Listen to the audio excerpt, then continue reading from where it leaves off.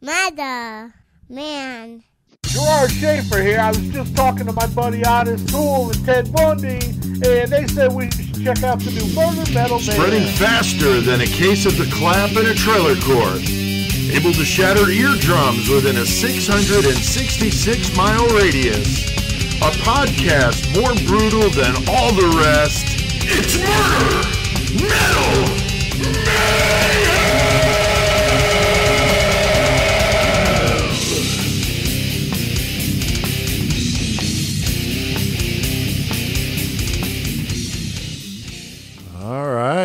What the hell's going on, man? What the fuck's up, motherfuckers? Got Gerard Schaefer doing some promo for us there, Chris. Hell yeah. It is Tuesday. We're throwing down here a new Murder Metal Mayhem. We're in Horns High Studios for the Horns High Podcast Network. Episode 189, gentlemen, going down tonight. Chris, Joey, how the hell is everybody doing, man? I'd be doing better if this fucking gnat wasn't flying around my face. Yeah, yeah. I see you swatting at something. I didn't know what the hell. Was, I didn't know if you were just really hammered and just seeing God shit. damn, like, Very cool. And Joey, you all settled in over there at the 419 yet? Yeah, we're uh, we're here, four one nine Studios, fucking recording for the Murder Metal Mayhem episode. Uh, pretty cool. Awesome. Seems like it's going pretty well so far. Yeah, last week, Joey, your first time recording yourself, you and Tex both, and so we really we took a stab at something we've never done with two different, you know, re- remotes, and you guys killed it, man. The audio turned out really good, so Hell yeah. the listeners get to hear it as if you're like right here in Horns High. And with the with the aid of Zoom, we're able to look at each other when we talk, which is a lot easier. Um, and Yep. we seem to like that, and so that's really cool. And we're tonight we're going to be doing something different, guys. We're going to record the murder segment on video, hell. so you get yeah. to see us talking like you know you see it on Zoom with this Brady Bunch style. Uh, me and Chris on one camera and Joey on the other, and so it's going to be really fun tonight. We're going to do that for the first time. So, so that's awesome.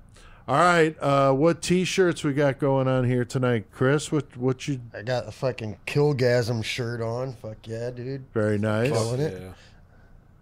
Fucking Very another cool. another one. Fucking Joey gave me. God damn, dude. Killgasm. Where where's Killgasm from? Where are they from, dude?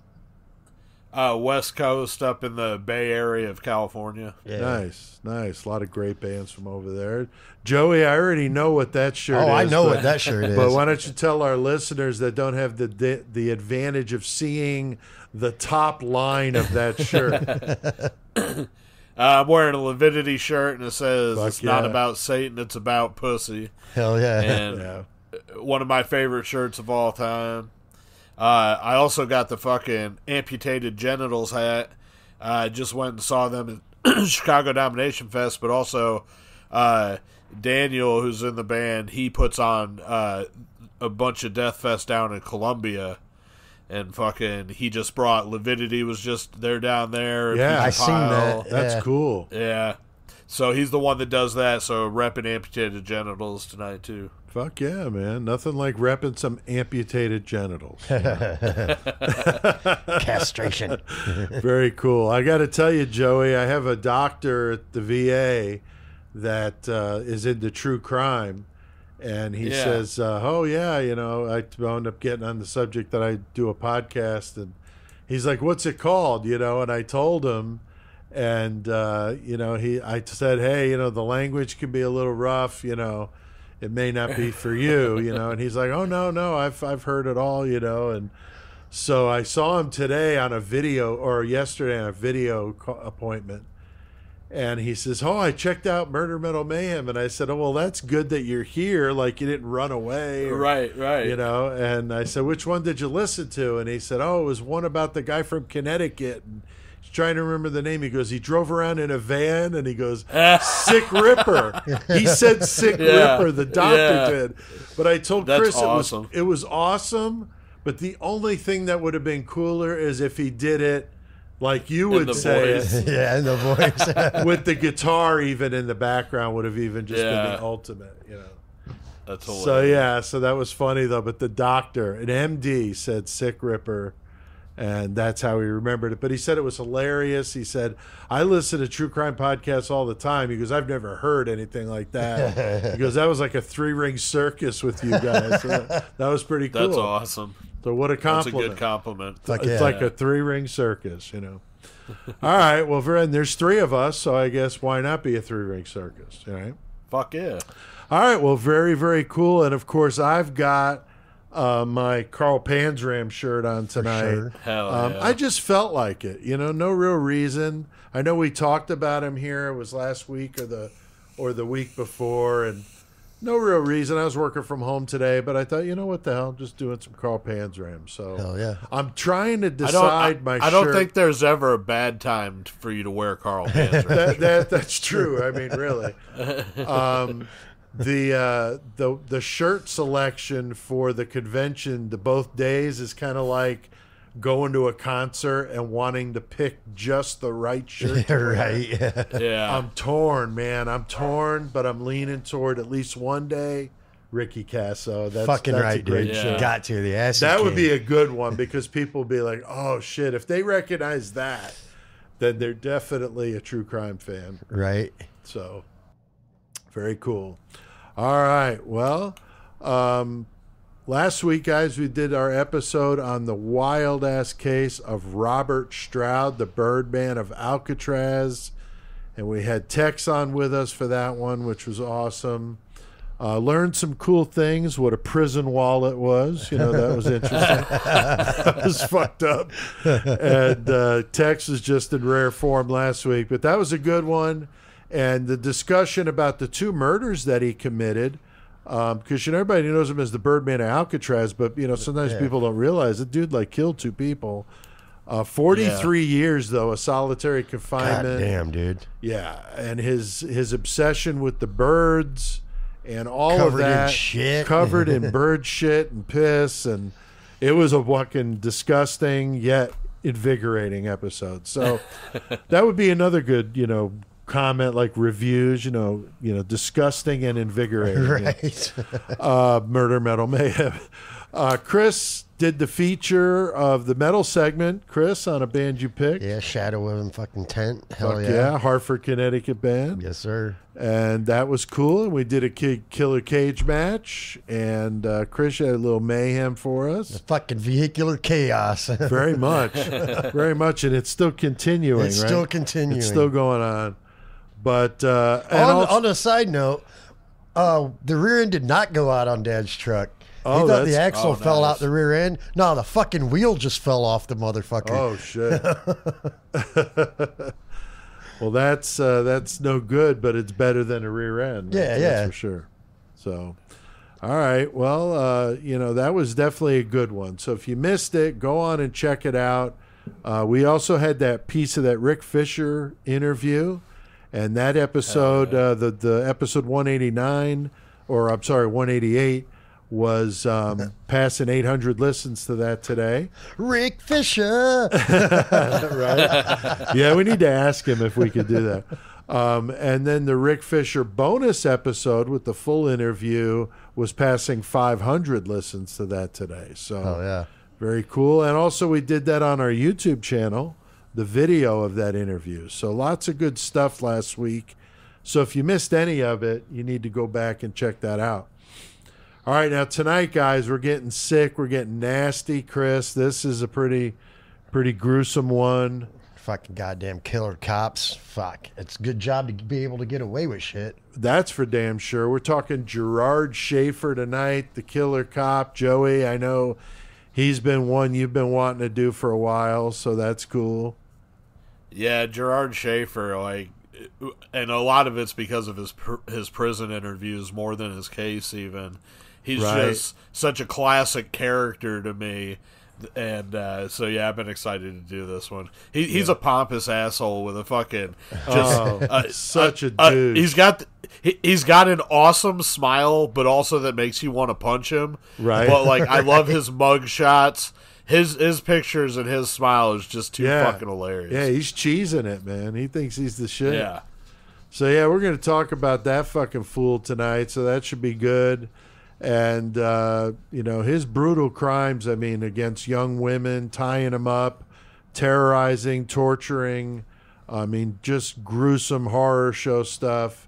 Uh, 1972 and 73, so not uh, you know a long span, but they do suspect it could have gone into the 60s. Um, his confirmed count was only two, but they strongly think there were more like 28 based on all those mementos that he kept. So we'll talk about that And what he said. and what he said for sure. And the writing, Chris, again, another writing serial killer. Yeah, so, yeah. Keeping, so we uh, got that, keeping the author theme going on here.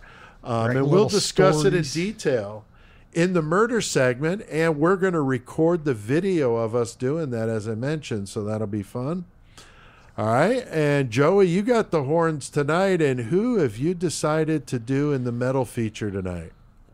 Well, uh, since this is my first one over here in Ohio, um, I decided to do an Ohio band and one that's been around for a really long time, and that band is Embalmer from Cleveland, Ohio. Hell That's yeah. awesome. That's awesome. Uh, definitely going to be interested to hear this. I know of the band, but I don't know much about them. But I know they were in Right, heavy right. core, and I know that uh, we played with them at the Central Illinois Metal Fest one time. So Hell yeah. they were amazing. A really, really good band live. I was pretty blown away by it. So, so I'm anxious to hear that. And Chris, you got a lost classic for us Got tonight. something. Yep. Good, good. And we'll do that in the metal segment. We've got another another metal, you know, icon died here this week. We're going to talk about that in the metal segment. Uh, I'm not sure if you guys know about it, but uh, we'll we'll get into that. Uh, killer cage match tonight, guys. That's when we have our listeners provide those random numbers where we decide who's going to fight in the cage and what they're going to be fighting with. And Chris, who are our listeners we want to say thank you to? Tonight we have Missy Hartson, Dan Jude, and Laura Kovacs. Awesome. So fucking right. Hell yeah. Thank you very much, guys, for the random numbers. And then Joey, who have they picked to fight tonight? This is a good one, man. Maybe. Yeah, I mean, these these dudes would definitely go have some lunch together. They're that's for sure. That's for sure. Yeah. Uh, but uh, we're gonna have fucking uh, Milwaukee cannibal Jeffrey Dahmer.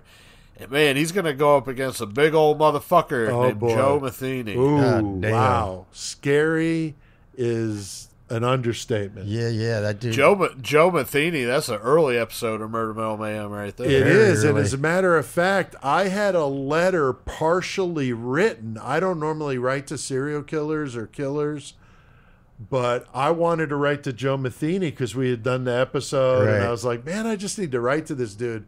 And he died, like in the middle of me writing the letter. He died. I was like, fuck. Well, there That goes my one, you know, that I thought would be kind of fun to write to, you know. But uh, anyway, Joe Let him know talking about him at a wedding is what got us started doing a podcast. That's right. That's right. So Joe Metheny and Jeffrey Dahmer going up in the cage tonight, and they got a couple of objects and a variable to make it fun. And of course, we always do that in the mayhem segment, so that'll be fun tonight. And uh, Sik Rik, guys, we talk about him. He's a sponsor of the show, but man, what an amazing assortment Dope ass mask. amazing stuff. The video interview uh, I thought turned out good because you get to see Rick in his lair, and he's talking Hell about yeah. how he makes the masks and all that. And then Joey, this week we picked uh, Ted Bundy as our feature mask tonight, and that's a really good one that he's got. Um, you know that we have here in the studio, but just really sick, uh, lifelike in the color and you know J- uh, Rick does them in Zombie. We did the Gein one last week. Yep. Um, you know he'll do them in black and white. He'll do them in all these different assortments. And uh, Fuck yeah. the Bundy one looks very realistic. Uh, we have it in the lifelike paint job, so really cool stuff. So yeah, so sikrikmasks.com. That's S I K R I K masks.com. And uh, if you want to get a mask, that's the place to do it. And he also does The uh, trick or treat. the trick or treat masks.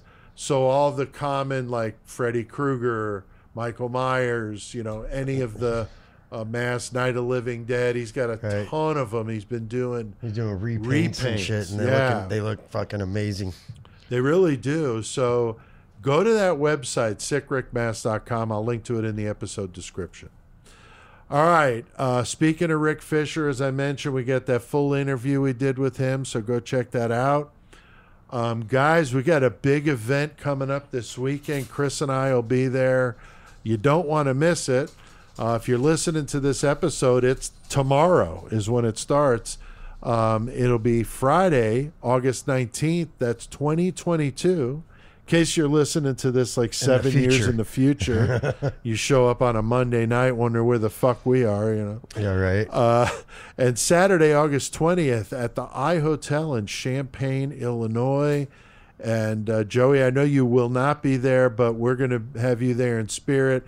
And of course, Oh, yeah. we're bringing CCK with us, Joey. So Fuck yeah. Yeah, No, we're gonna- got to. bring CCK for a little support. Maybe our listeners will want to take a picture next to CCK, which would be cool as shit. So in his For socks. sure. Right.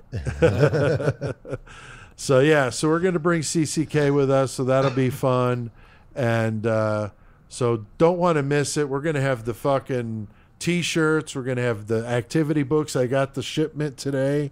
I ordered more. I got them. Fucking right. So we Oh, got yeah. those. I also needed some of my books, so I got all that stuff. I'm gonna start packing. I got my list all prepared, so I hopefully don't forget anything. And we're gonna be fucking pulling it all out. We got Brian Usual, the artist, is gonna be there both days, so that'll be cool. Jeff Gaither's supposed to be there. Uh, Terrence Muncie, just some really great artists, uh, movie people, directors, writers. Uh, there's like three or four other podcasters are going to be there, so you definitely don't want to miss it. Uh, and I'll link to it in the episode description if you need to get tickets because they're cheaper if you get them in advance. Right. Oh, I'm hearing sirens. It must be in the 419. 419. Better watch out. well, 419 fucking sirens replacing the 920 train. right, right. right Although to, to, to defend CK or to defend uh, Toledo, Danbury had its share of sirens. Yeah, oh, yeah, it too, definitely did. Yeah. With CK, but it fits more with the 419 theme going on here to have some cool sirens and shit. yeah, yeah. Some junkyard dog barking in the background, you know, something like that. Yeah. Um, all right. So thank you to everybody that's out there listening to Murder Metal Mayhem. We keep seeing the numbers. This week, guys, we're at about 2,600 listens, so right around last week. So thank you, Fucking A. those of you that are listening and telling other people about it. Like my doctor, now Now listening your to Murder doctor Metal listens. Mayhem. He said So, he doesn't Doc, do you know, metal, thanks. but the true crime part, he's like, yeah, okay. Yeah, he said he wasn't into metal, so all he listened to was the true crime part. But that's okay. Um, that's cool. I think like eighty something percent of our listeners listen to almost all the show. Yeah, yeah. So the stats are, are pretty cool with that stuff. The real ones. That's right. All right, guys. Well, we got a lot on our plate tonight. We're going to be taking a little trip. We're going to be going to uh, the state of Florida Yep. and we're going to be hopefully avoiding ending up on a fucking tree at Don't- the end of a noose. Don't So- want to be talking to no cops, so uh, let's go get on murder. Road.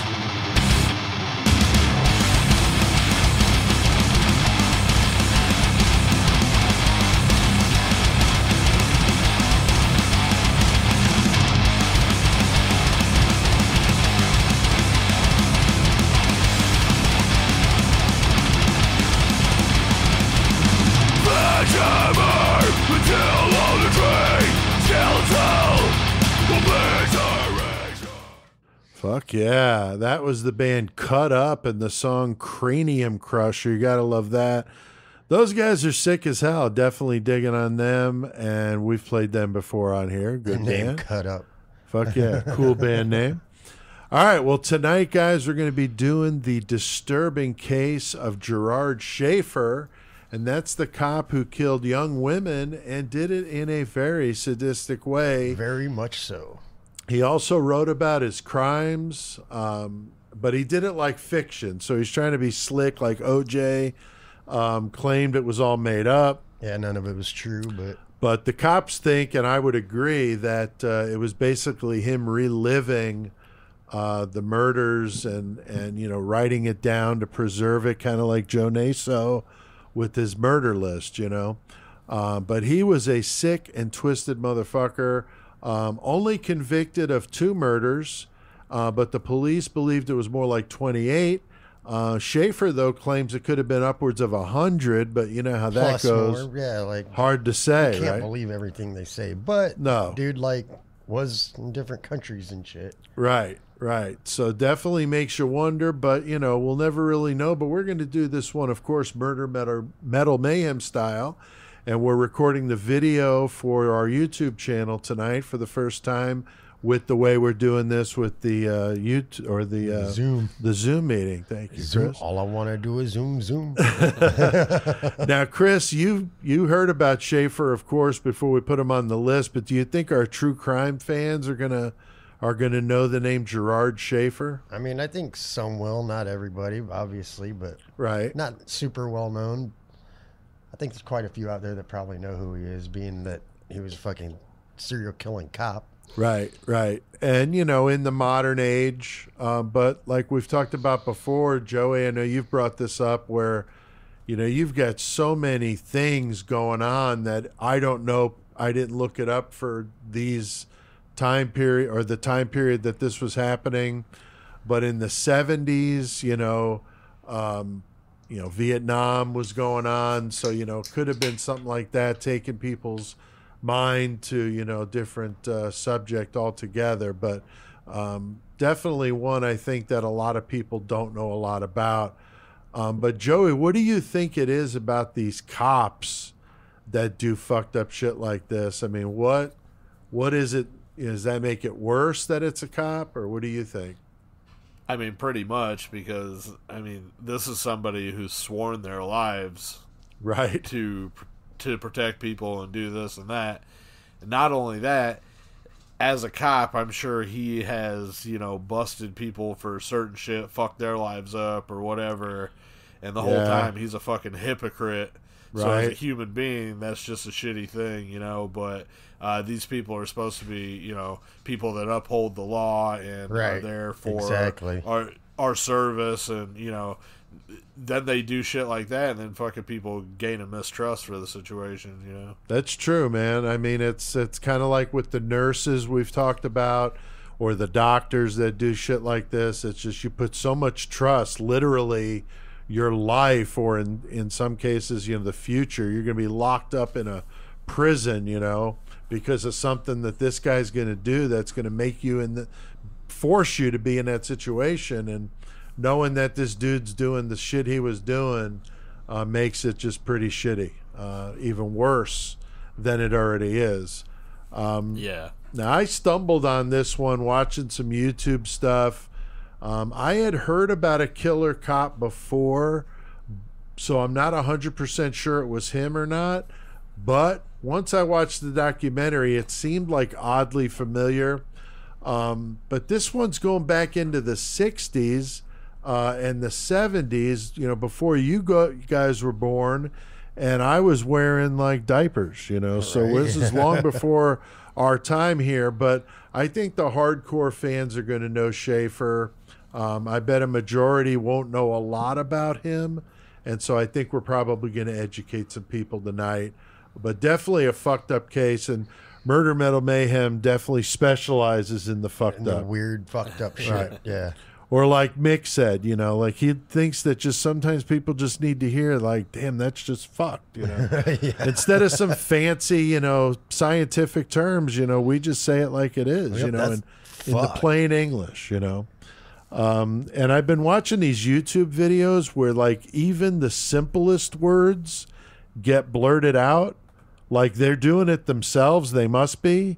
But I was watching these videos and, like, simple words like kill or, you know, like blood, They're like they were blotting them out. And I'm like, well, if that's the standard, then we Yeah, might as well we- just give up Yeah, because we are because this whole show would be like nothing but a long One long- yeah. you know so so we're not doing any of that i mean whatever if they take it down they take it down i really don't give a shit but i'm not doing that All right. Uh, so Gerard Schaefer, born in Wisconsin in 1946. And of course, we know a few Wisconsin killers, don't we, gentlemen? Yes, sir. Gein, Dahmer. Hell yeah. Uh, some good ones for sure. So, uh, you know, he comes from, you know, a place in the country that seems to specialize in some of this stuff. Um, his home life, though, was a turbulent one. He was one of three kids. He was the first one. Uh, and his dad was a traveling salesman. The mom stayed home with the kids, which, of course, would have been common back in that time period. Um, they bounced around, though, but probably because the father was supposed to be a raging fucking alcoholic. So, And on his uh, some of his uh, traveling salesman trips, he was just out with other women and shit, too. Right, So right. just like Yeah, he was not a good dude at all. Uh, frequent rages, uh, just just very turbulent situation. Um, so Gerard Schaefer's born mostly though in the Nashville, Tennessee area, and then they moved to Atlanta where he uh, went to a Catholic school, um, and then they moved to Fort Lauderdale, Florida, in 1960. So, like I said, he moved around quite a bit. Uh, his parents, though, wind up getting divorced while he's still in school. And he's also known to torture animals, which we've talked about that before with some of these serial killers that That's we've, where it starts. we've done. A lot of them, you know, start that way. Now, He Chris, just wanted to. He he said he just wanted to shoot the ones he couldn't eat. yeah, right. yeah, he was a real sportsman, that's for sure. Uh, now, Chris, we've covered killers that come from households like this. You know, the abusive dad dad. always brutal and shit and his dad he, his dad liked his sisters better so he felt bad like he not bad but he felt like he wanted to be a girl that way because he felt like he might get more attention from his dad or Right. and whatnot if he was a girl but his dad because his dad didn't pay any attention to him Yeah. so then he starts like messing with girls clothes and shit like trying to do whatever it is but yeah. then he gets violent and uh, like age 12 decides yeah. he likes to choke himself and shit. Like, yeah, he starts getting kind of wacky as Yeah. he gets into his teen years. But like you said, Chris, he's doing this because he thinks it's going to get him more attention because his dad favored the girls. Yeah. So he starts getting into some cross dressing here. Now, Joey, it's interesting though, as like a total opposite of the cross dressing thing. He loves the outdoors, hunting, fishing, you know, real guy stuff. Uh, what do you think is the deal with that? Uh, it, it it's probably, in my opinion, uh, largely due to the fact that he had all those other desires. You know, saying that he should have been born a girl and this and that. And of course, we're talking about back then. We're not talking about right now. Right. When This know, is very people- accepted today. You're right. Back then, that you would have been looked at as, Oh, yeah, as really freak. fucked up. A So freak, yeah. May, maybe uh, some of his interests and things of that in his normal everyday life was geared more towards, um, you know, being masculine. I guess I'd say, so that he would push himself away from that other part of his life in the view of everybody. You know. Yeah, almost like a Gacy. I wonder if he felt bad, so he tried Yeah, to overcompensate for it, or like a beard, so that people wouldn't know that that was his inclinations. You know, Yeah. hard to say. I mean, you know, and I, he seemed to generally like love nature and all that for real, and part of that also might be because that was like a sanctuary away from his home life, uh, Right. away from the things in the world that he didn't like and things like that too. Yeah, you No. get out in the woods and you're by yourself, peaceful, and nobody Yeah. bothering Yeah. you. Yeah, because he wanted to be a forest ranger. That was like his lifelong Yeah, thing, you yeah. know. So it's hard to say. So now, as Chris points out, he's entering adolescence, and we all know what that's about. Your body's just in a fucking mess. Your head's in a thousand places. He begins to go off the fucking rails with some real dark fantasy stuff Yeah. that involved hurting women. And here we go again. And if there's not a fucking band by this name, I'm going to have to start a fucking side project here. Madonna whore. complex. Madonna Whore Complex. If there is not a metal band by that name, uh, you need to be slapped. Somebody needs to take that fucking name. That's a good name, okay? Uh, we've talked about this though, guys, so many times where women were either one or the other, right? There's no middle ground. You're either angelic Or or you're you're, a a total whore, yeah. whore. One, there's no in between. Can't in just his be mind. a female. Yeah, so he's just that way, and so um, he genuinely felt contempt for most women. So this is not a good thing. He also liked to inflict pain on himself, and he's got these bondage fantasies, uh, like we talked about, the wearing women's panties, very similar to He- BTK. He, called them underpanties. Is that what he called them? he's a goofy son of a bitch, man. Like Joey said, he's got that stupid fucking smile on his face. Um, but very similar to BTK. Um, he's also into the whole autoerotic asphyxia, where you choke yourself to almost passing out, and it's supposed to increase your feelings at orgasm. Definitely not my thing, but hey, what the fuck ever, you know, whatever. He said tie himself like straight up tie himself to trees and like inflict pain on himself, thinking of other of ways to hurt females. And Yeah. shit. like Definitely fucked up. I mean, certainly not the at, norm. at twelve, like I said, at twelve years old, right, exactly. exactly. So pretty uh pretty strange. Now, Chris, I was wondering if we can get your brother Michael, because Michael's a good sport, to actually try the auto asphyxia thing. I, I, I don't know about that. I don't think he'd be. I mean, unless he's like jerking off and smoking some weed and chokes on the weed. Maybe. oh, there you go. you call that weed whacking. But so we'll have to find out though, and have Michael report back for us. But Schaefer was also doing some peep and Tom shit going on, Chris. So Yeah. Uh, that's one of those things we've talked about before. Kind of starts with that. What I was gonna say. It's where, like, if you got those kind of feelings when you're that young already, you're kind of not thinking about what you're doing when you go fucking around looking at women's through women's windows or whatever. Right. So you're a young kid, you got some fucked up thoughts in your head. Let's go check this out. Right. So that's what he does, and it it gets to going really good. And fucking wants to kill him. Yeah, definitely. Uh, he starts with the peep and Tom thing and escalates. And Joey, I know we've talked about the cross dressing element with serial killers before. Uh, Ed Gein would be the, the most extreme, but, you know, BTK, like I mentioned, um, and even some fictional characters, Joey.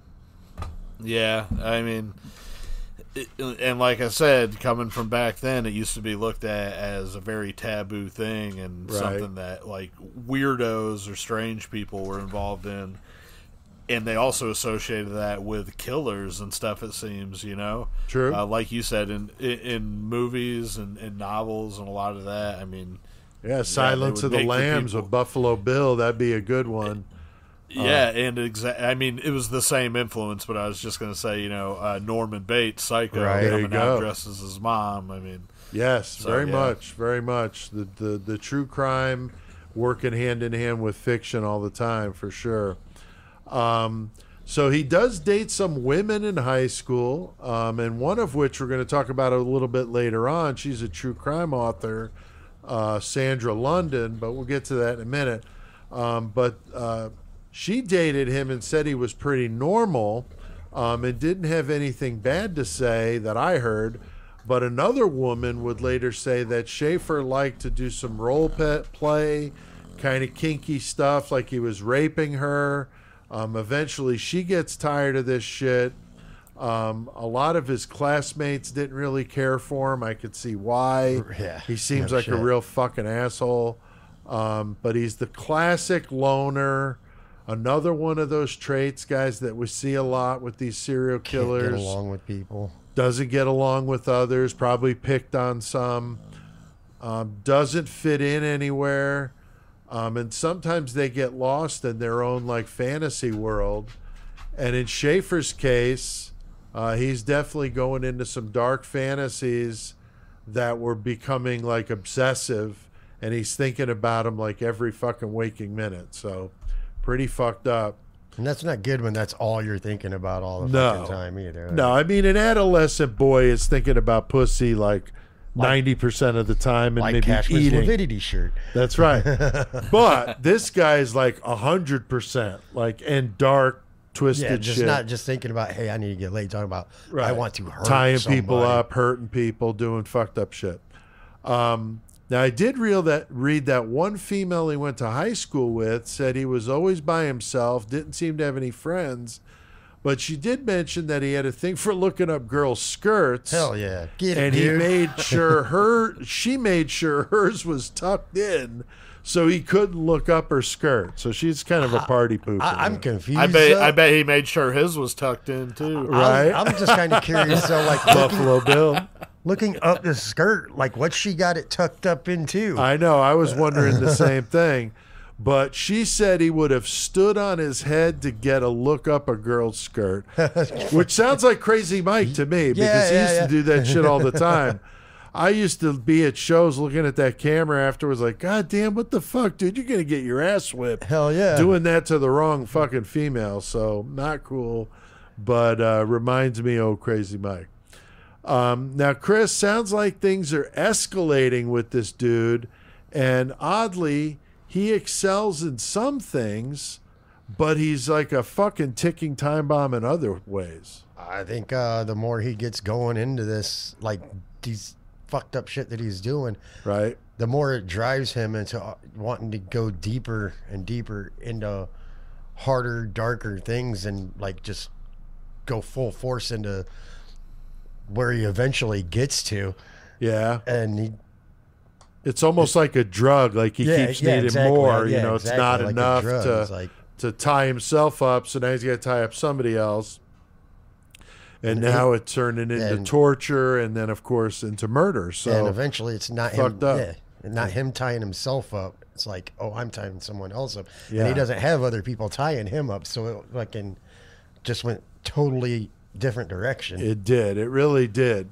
Because he's like really excelling in varsity football. He's getting good grades in school. Um, he was a good golfer, apparently. Graduated from St. Thomas Aquinas uh, High School in uh, 1964. So graduates high school 1964. Now stuff starts to go downhill uh, because he becomes a fishing guide for a period of time in the Everglades, which sounds like a dream job for a guy that loves the outdoors. Also makes you wonder if that's where he got the idea of how to dispose of some victims, Chris. Right. You know, Pee Wee Gaskins, right? Dude. He was one that was all about the Gators, man. Joe Ball, you know, some of these guys that got ideas for, hey, pig farm with Pickton, right? A, a way to get rid of a body in a very, right, right. you know, simple fashion. Feed it to the to the uh, Gators. So, Joey, what do you think about that with him and his interest in the Everglades and you know how that all might have worked in with his with his murders? You know, it's it's hard for me to uh, to really answer that because I don't really know enough about like really where and how he killed and disposed of the supposed number of bodies that he has. You know, Right. uh, the few the few cases that he was tried on, of course, those details are a little more um, prominent, but supposedly, and if you you know, even if half of what they say is true, it's pretty high body count. Right. But uh, I don't know. It's hard to say without knowing that stuff, really. You know. It is, and I think what gave me the idea of that, Joey, was that I think in one of the Sandra London interviews, she talks about that that was a way he mentioned was a, a good way to get rid of a body. So Yeah, yeah. again, like you pointed correctly, you know, we don't know, but we could speculate Right. and make some, you know, just bringing it up, you know, letting the listeners Yeah, decide what yep. they think. Uh, but I think it's definitely a possibility, especially with that many victims. You know, they weren't finding that I'm aware of that many bodies. So he was Right, obviously right. getting rid of them in some way. Um, so after graduation, he ends up enrolling in college because he's getting good grades. He goes to Broward Community College, which was in Fort Lauderdale. Um, he started out as a social studies major, but then changed to teaching. He got good grades in college. He was offered a scholarship for Florida Atlantic University in Boca Raton in 1968. Um, so again, he's doing really well in some things, but in some parts of his life, he's he's not. Um, he was going for a bachelor's apparently in education.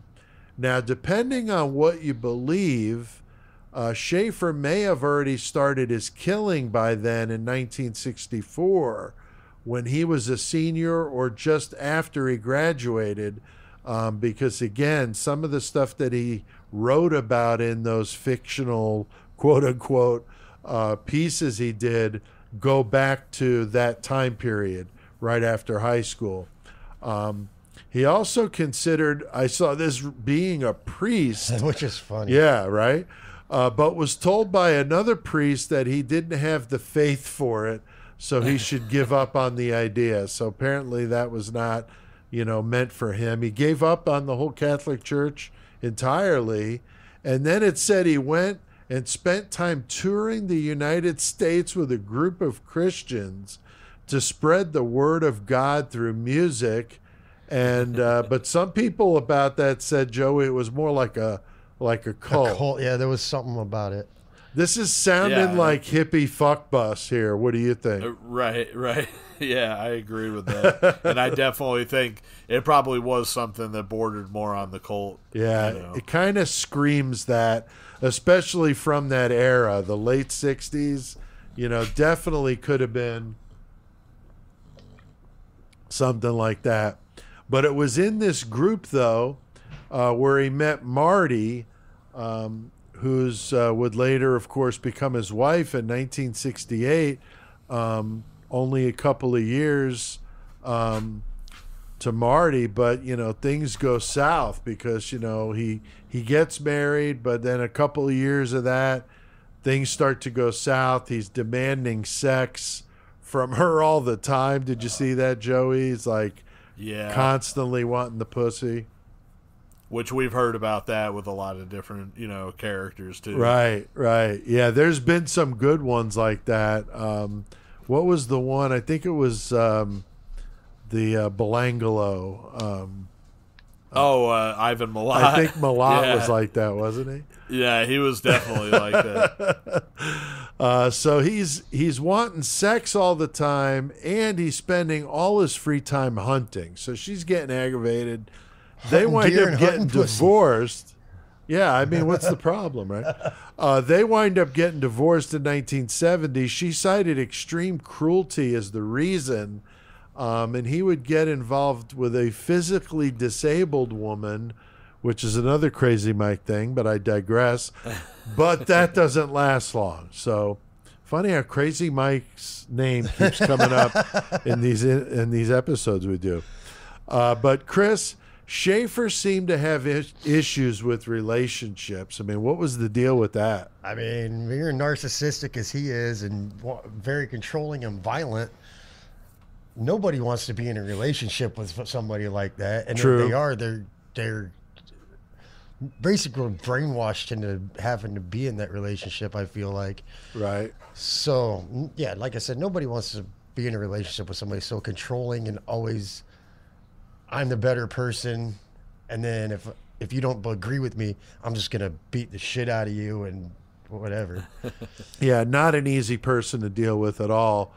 And then Joey in 69, Schaefer lands a job at a high school. What's the deal with this? In Plantation, Florida, have they made, has cancel culture made them change their name? I, I wonder, right? How is Man, that they still a got thing? How is that still a thing, right? But, But uh, yeah, him working yeah, at a high up- school, not a good idea. No, that's terrible. And I mean, Pedophiles like- playground, man. He already tried to be a priest, and they wouldn't let him in there, so he's got a pedophile some other way. There you go. But he, uh, he, I mean, he was teaching geography, and he ends up getting fired because he's pretty much insubordinate to his fucking, you know, the principal and the Right. the higher ups there at the school. yeah. Um, and that also they were talking about he was trying to force his beliefs on the kids in his classrooms and stuff. Right. So he's in there supposed to be teaching, you know, this syllabus, and he's got his own fucking thing. He's teaching them. I mean, he ends up becoming a writer and shit. So yeah, I'm sure he had fucking all kinds of ideas fucking mapped out and was, you know, trying to fucking implant them on these kids. Yeah, but not a good environment for a guy of his inclination, that's for sure. Uh, Um, he's also trying to push his conservative agenda on the kids, which kind of, you know, gets the people at the school upset. You know, he's pushing that agenda, which would have been, you know, obviously against the hippie movement of that time, which probably would have got a lot of people pretty stirred up. So, right, you know, right. this guy definitely would have been canceled in the modern world for sure. But I got to in know. plantation, I gotta know. canceled. I gotta know if plantation's still a thing because that's fucked up. Now, I'm, I'm gonna look it up. yeah, Right go ahead. Now, a few months later, in 1970, he tries to teach at another high school but fails.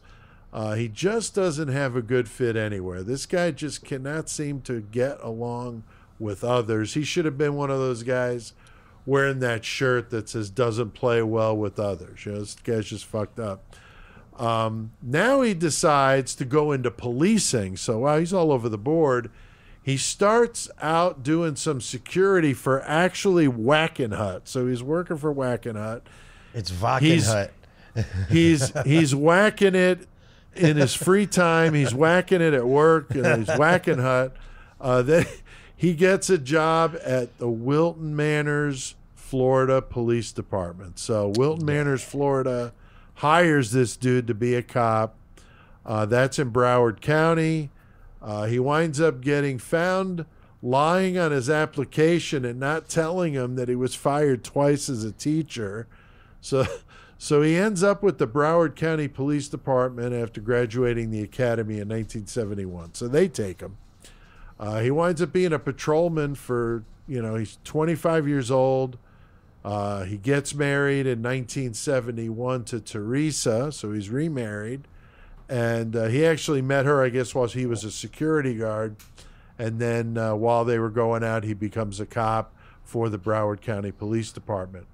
Apparently, she was cool with Yeah. his sex drive, and uh, she also liked to fish. So, Chris, I yeah, mean, she's cool with everything. Everything smells like fish, so fuck it. Let's do yeah, I mean, this is like his dream woman. I mean, definitely, fishing man. and fucking. You know, I mean, it's like, I mean, wow. I feel like if he had met the right person, he who'd we just do the couple that if he had met the right person, he could have done a couples thing where she went and helped him. Do Oh, this- definitely. You know what I'm saying? Like, Oh, yeah, for sure, dude. didn't meet the, his dream woman. yeah, she sounds like it though. I mean, on the It- surface here. She's like nature loving and loves wants to fuck all the time. Yeah. so, So hey, what the hell? and didn't care about his fucking hangups or whatever. so- Right, right. Uh, now, Joey, I saw when he was with the Wilton Manors Police Department, he was reprimanded for pulling over a lot of females. Did Jesus you see that? Yeah.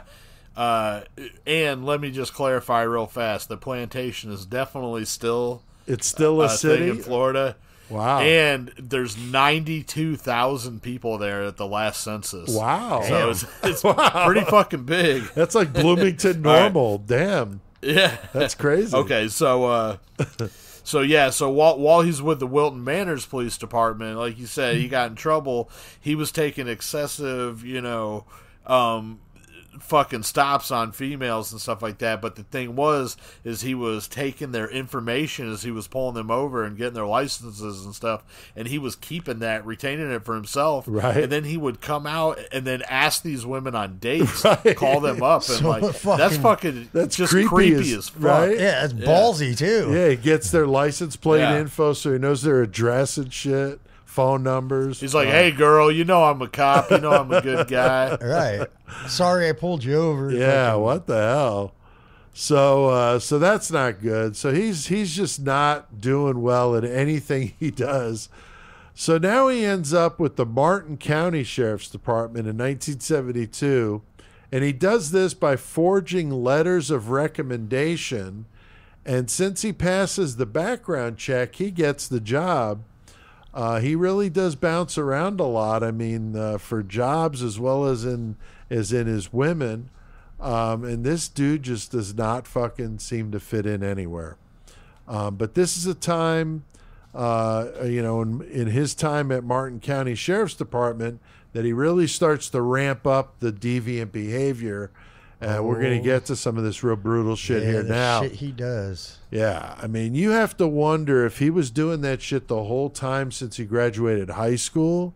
Um, I tend to believe this guy was killing women in some way from 1964 until he gets busted. That's in Oh, my I'm sure, opinion. dude. Like, I goes- think he was slowly- hard, yeah. practicing his little routine and how he was going to abduct him and all this shit, fantasizing about it. But this shit gets really dark. Uh, 1972, July 1972. He's only been on his job at the police station at Martin County in Florida for a month. He's on patrol. he picks up two 17 year old girls, Pamela Trotter and Nancy Wells, who were hitchhiking. So he tells them, you know, about the dangers of hitchhiking and all he that. He tells them that like it's illegal, like fault, like not Right. allowed to do it. And he's like he fucking tells them like, "I'll fucking drive you to the beach. Let's Right. go. Come on, I'll help you out." yeah, and he, he gets their guard down. Of course, he's a cop, so you naturally Yeah, trust him. Going to be like, "Okay, cool. We got Yeah. a safe ride. Whatever." This is safe. He's trying to do the right thing. You know, he's preaching to us about uh, not hitchhiking, which, you know, obviously there's some validity to that because we talk about that all the time. Yeah, how these women get shit. abducted that Yeah. way. So, so that's a good cover here as it starts up.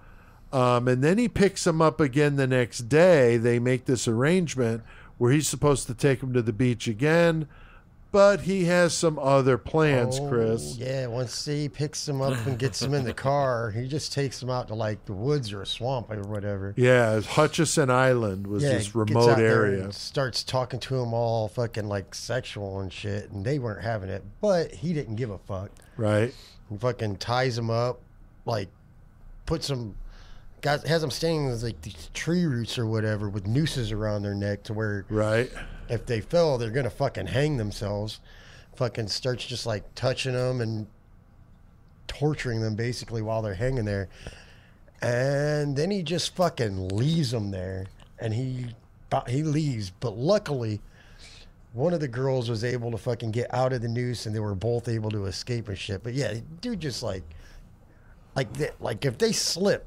They're do- done They're for. done, he just yeah. left them there, dude. Like a Yeah, and they sim- show this tree in the documentary, and these roots are like coming up out of the ground, but it was precarious. I mean, they had just a little bit of rope and one slip on this on this tree root, and they Dunzo. would have been hung, you know, hung themselves. So, uh, pretty. and he was up. drawing pictures of that shit later on too. right? Right. Yes, he was. He was. They uh, were using that art for whenever they fucking put out his book or whatever, Killer Fiction. Mm-hmm. Yeah, I uh, I definitely think these girls were very lucky to get very, away. Very lucky, yeah. Um, and Joey, Yeah. he goes back to get the girls because he got a call on the radio. He had to go deal with something. He comes back, and And he- what does he find when he gets back?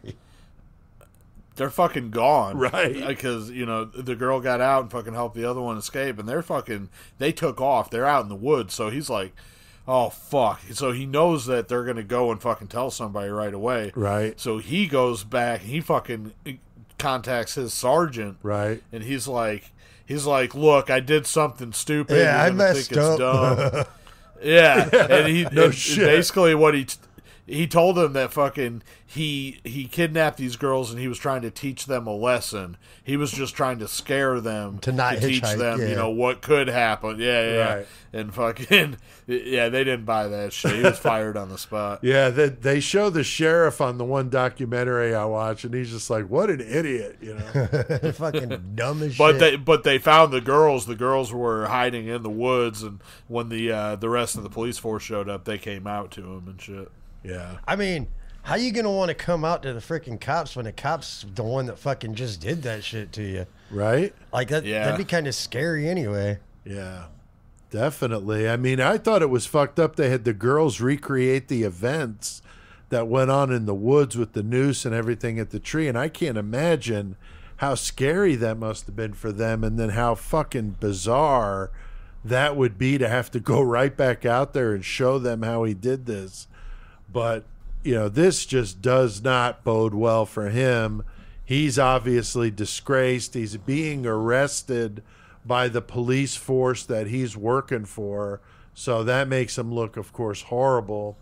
And yet another fuck up, another lost job because this guy's just being a complete and total Right. shithead. And now it's escalated to, you know, sexually assaulting these girls and terrorizing the shit out of them.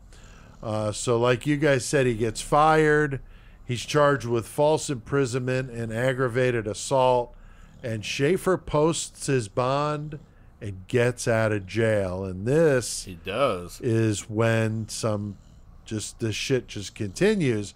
I mean, most people would be scared to fucking death, Leave their fucking house. would fucking stay the fuck home or do as little as you had to do to be as good as you could be to avoid getting into any more trouble. And this motherfucker is like, nope, I'm going to go out and abduct more fucking chicks. So, I mean, that should be. He's the like first he's thing. like my plan. His plan was was to get him two girls, and he was tired of that shit. He they fucking caught him on the first one, but he wasn't ready to stop though. No, he wasn't. So he's out on bond. He decides to go back to abducting young girls. Um, two months later, he picks up 16 year old Georgia Jessup and 17 year old Susan Place. He takes them to the beach, and Susan's mom was very uneasy. You know, this older guy, but, you know, he talks a good game. Um, she, you know, lets him go, but her intuition was right because she winds up writing down his license plate number, gets a good description of him and the make of the car, which was a Datsun. So that was smart of her to do that. Unfortunately, though, she writes down the wrong license plate got number, but we'll get to that. Um, so, Chris, the girls never come back. So, what happens with this whole situation? I mean, like you said, she wrote down the license plate number because, like, he picked them up, and like she saw them leaving with with him, Right. and obviously you see your freaking kid getting in a vehicle with an older person. It's like I'd be fucking. The First of all, first of all, like I don't even know this person. Fuck no, dude. Right. I wouldn't even let it happen, dude. Right. But she let it happen. But like you said, she wrote down the license plate number wrong in the car. But I I don't know, man. I feel I weird out when my fucking kids hang out with kids. Kids that you don't that know I don't well. know. I know. Like Yeah, where let you alone some grown up dude.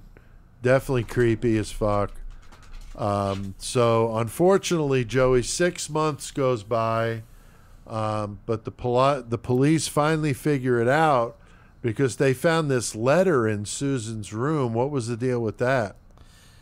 They found a letter in a room, but it was under the name Jeffrey Shepard. Right. Uh, but the address is on the letter, so whenever they linked Right. that back, they found out that the owner of the property to which the house, you know, uh, the return address or whatnot, Right. was Gerard Gerard Schaefer. Right. So um, Couldn't even they change go his and name. Pretty no, stupid. no. But uh, they go and uh, they search his mother's home. Um, I believe that's where he was staying at the time. Right.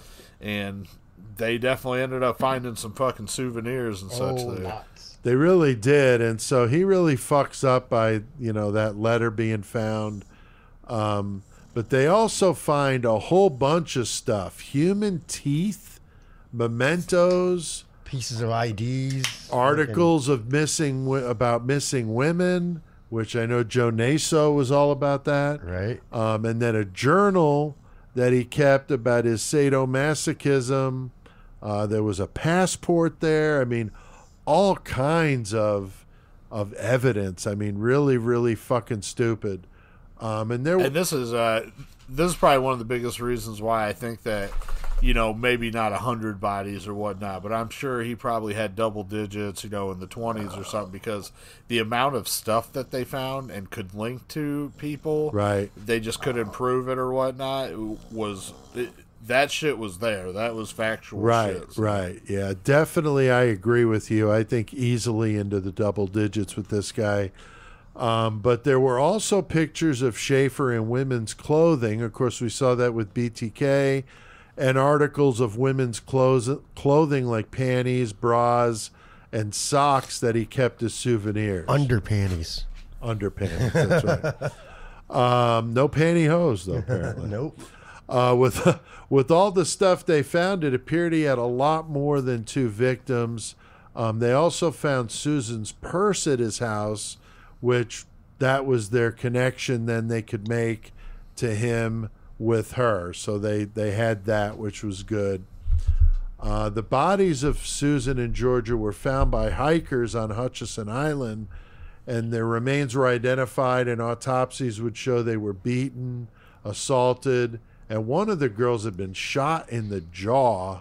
Yeah. Uh, and Yeah. he even carved his initials into the bark of the tree. Not very smart. I mean, for as smart Yeah. as this guy was, Chris, he did some was dumb. dumbass shit. I mean, he puts his High on the brilliance, low on the common sense. Yeah, really stupid.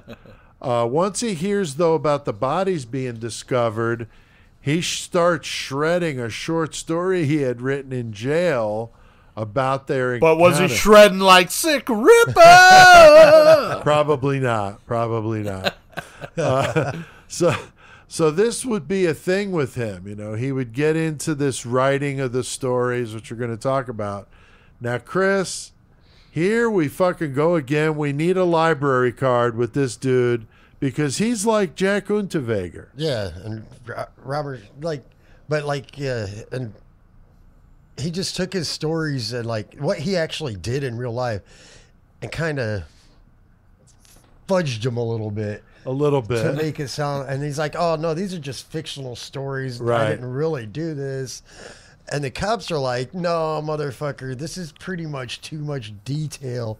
As to what the fuck actually went on, Right. Like you, we know better than that, and you wrote this shit down. We know, dude. Exactly. it, it's not fiction. You did this shit. right. So, you know, we went through that last week with Robert Stroud with the books he wrote on birds, and now we're talking with Schaefer. I mean, this has just been a funny undercurrent in a lot of these episodes we've Right, we've done writing books, recently. yeah. The, the the serial killers writing books, but the the cops know this guy's full of shit and that these are real. I mean, Joey, at least they you- didn't. At least they didn't let uh, Schaefer out like they did Unterweger. that's true. That's true.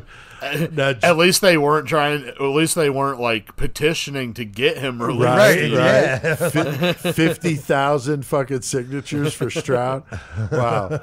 Now, Joey, did you see that jailhouse interview with him laughing and talking about himself as an author and shit? Yeah, I mean that's the he was like this was all just you know shit that they took from my writings and you know I'm a writer Right. and it, it's it's funny because uh, this guy ends up trying to fucking sue everybody and we'll talk about Oh, that yeah. too like Yeah. everybody but it's funny because if if you look at the premise for like the movie fucking Basic Instinct with Sharon Stone like Right. that's the whole thing is she fucking kills somebody the exact same way that she wrote a book about so her alibi is why the fuck would i do something whenever i've already written it it would be almost you know impossible for somebody to fucking believe that you could do that Right. so that's almost like his alibi too but before that so it's funny he's not like hey that's my fucking you know idea and basic instinct Right. should get I, fucking I sued. know, yeah, right. That's funny. Yeah, I mean, this dude is a fucking piece of work, man. But those jailhouse interviews just make you want to just bound his Oh, head yeah. into a fucking wall. Uh, the trial begins in September of 1973. Uh, the two girls who got away would testify against Schaefer and tell their stories about what happened. And of course, this matches up with how things went down with Georgia and Susan. Uh, Susan's mother would also testify, and the jury finds him guilty after just a 10 day trial, and he winds up getting two life sentences. So, pretty, pretty slam dunk. Uh, the police start going through all the newspaper clippings that Schaefer had been keeping. Uh, one of them was a missing waitress, Carmen uh, Hallock, and she ends up missing in 1969. And a pin that she owned was in his bedroom as one of those mementos and one of the teeth they found was linked to her as well. So what the hell? Um, and then another girl, Leah Bonadies, uh, was missing, and her jewelry was found in his home.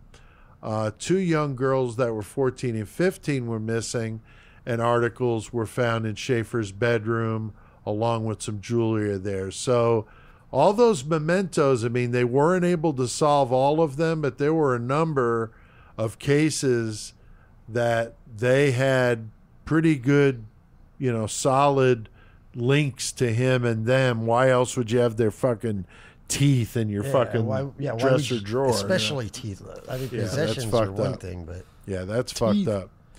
So, Chris, with all the shit he has in his bedroom, I mean, there's no telling how many victims this dude could have man, had. he could have had so many. Like, like I said, the police like think it might be close to thirty, but then he like started going with his narcissism. He's like, I don't know, it could have been thirty, it could have been eighty, it could have Right. been hundred and ten. I don't know, and he just kept on going with it. But when you got so many items and like you said, like teeth and whatever, fucking of missing women Right. in your room in your in your bedroom. in your bedroom. Like, how can you not be linked to this shit missing? It's not like you just found, happen to find all this random stuff sitting in the street. Like, to everybody, everybody that's missing, like, no, it you're don't right. make sense. So, like, he's got a pretty high got count, higher than what they what they got busted for. I'm, I know for sure. Yeah, I agree with you, man, 100%. Now, Joey, a woman named Belinda Hutchens, who dated him in 72, she ends up missing. Uh, and they found an address book of hers at Schaefer's. But, you know, this is just, you know, again, you just keep finding more and more. This is kind of like, you know, peeling an onion, right? With this dude. Yeah, they. Uh, you can look it up on a. I can't. I don't think it was Murderpedia, but something like that. But you can look it up and you can see all the the victims that they linked to him. Not necessarily that he was convicted of. Right. Of course, they got those, but Right. there's a lot of them, and the probability that he was involved is very, very high in almost every one of those because a huge link is to something, you know, material that was theirs that he ended up with, um, if not part of their body, like a tooth, like you said. Right. So I don't know, man. It's uh he had all that shit. The the the Belinda Hutchens, like that was that's almost a guarantee that he did something to her, but he was never he was only convicted of a few of the the people. Though. Right. Only two. So. Yeah. Uh, so Schaefer goes on, um, you know, and they're, you know, they're going back. There could be, you know, 20, 30, maybe 40 of these. It's crazy. Um, but he goes on, he keeps writing his dark short stories, claiming they're fiction. Uh, he also gets busted for trying to get women to send him their undergarments to the prison, which is hilarious. Um, I will. I, I'm only gonna say that fucking. I, I don't even fault him for that because people in the joint that's like a fucking huge request Oh, I bet. almost all of Yeah, Oh, them. hey, I'm yo, sure. Send me a pair. of Yeah. but did they get past though? I mean, I, I don't know. I don't know. I guess it I depends never really saw no- how well they conceal Yeah, I it. never saw any panties in prison, so if anybody got them, they must have hit them pretty well. keeping well. them to Right. themselves, right? yeah, Uh, so yeah, so um, you know he winds up getting put in solitary over it. Um, he's filing an appeal after appeal, claiming shit like drug dealers framed him. Um, he's filing lawsuits, like you guys mentioned, um, against true crime authors who are writing about him. And one of those I mentioned earlier was Sandra London, who he dated? dated the dude. What are the odds of that? She's a true crime author. She dated him in high school, and she writes a book about the whole thing, uh, which she actually, I conversed with her on Messenger um, when I first discovered her tie with this, because we have some mutual friends and um, on Facebook. And so she was nice enough to respond. But she sent me an e copy of, I don't know if it's both of these or just one, but I think I have a, an electronic copy of Killer Fiction. Uh, I just Yeah, didn't. you can pull up the PDF if you look it up. Oh, for sure, for sure. yeah. Um, but she publishes the story collection from him called Killer Fiction in 1990 and then Beyond Killer Fiction in 1992. And he would go on to try and sue her. And he also threatened her life, which is, uh, you know, Like, fucked how, up. what you gonna do? You ain't got nobody. You're in prison by yourself. Fucking. my my favorite one was he tried to sue Robert Ressler of the FBI. Yeah, what was the deal? I saw Ressler was mentioned. What? How did did you see why? because it's something about because he was I think he was uh, teaching lectures at lecture halls and he was using um, Gerard as one of the people that he would say in the Oh. serial killer Oh, category right. or something like Ah. that. And he was like that that's falsifying information and he called it libel. And then but they ended up saying that almost every one of the uh, the suits that he filed, it was already too too far past the actual event Ah. for him to get liable. And I saw that there was one judge where he fucking ruled that the acts that Gerard Schaefer uh, got convicted of were so vile that he was he he could never sue for libel ever. Ah, God okay, He was such a heinous dude. Yeah, interesting. no, fucked up. Yeah, that is fucked up. So uh, you know, who knows with this dude? Um, but Chris, I mean, did you see that Schaefer was uh, friends in prison with Ted Bundy? Did you see that? That's shit? pretty messed up. You got those two in there together, man. right. Like, Talking shop, you know. yeah, like he fucking like talking about how much I don't know how much friends they were.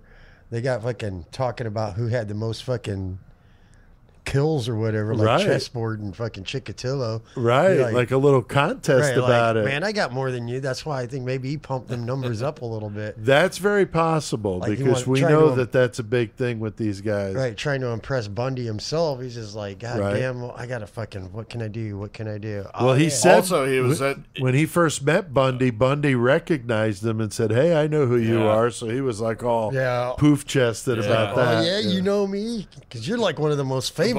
Yeah, But he was in there with uh, Ottis Toole also. that's right. So you know that's another person that you got to compete with, Right. and you know there was all that uh, the media coverage because of the Adam Walsh case. True.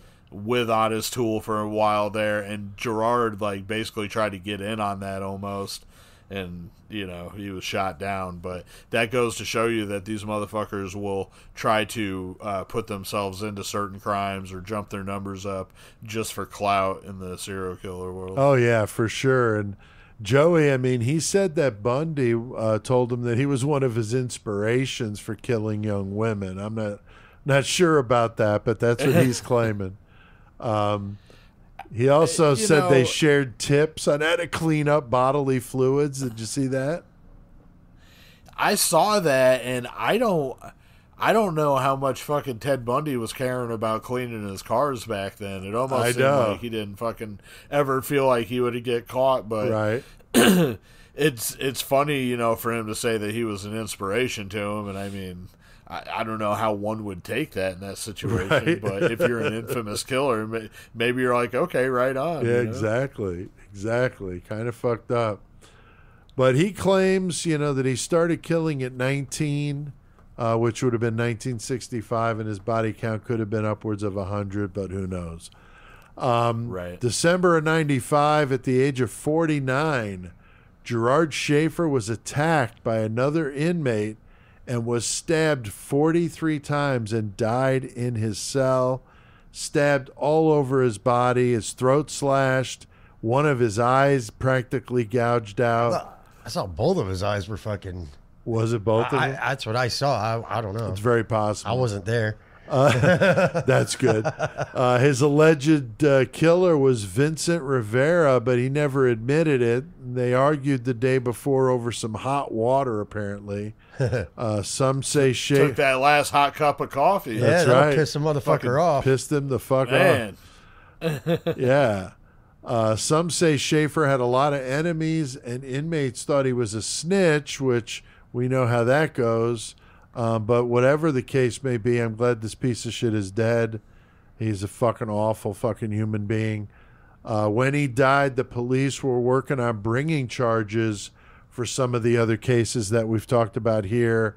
So he very well could have been charged if he would have been alive Right. on other crimes uh, as uh, as this all went down. So crazy story for sure. Killer cop, uh, guys. Anything to add to this one, Uh, I don't think so. I'm fucking cool. Joey? I got a couple things I was gonna say. Yeah. Um, one of them was about uh, S- Sandra London Yeah. and her and uh, and Gerard. They were engaged for a period of time, Okay. and she left him. I think in uh, 1991. I think they got engaged in 91, and then she ended up leaving him.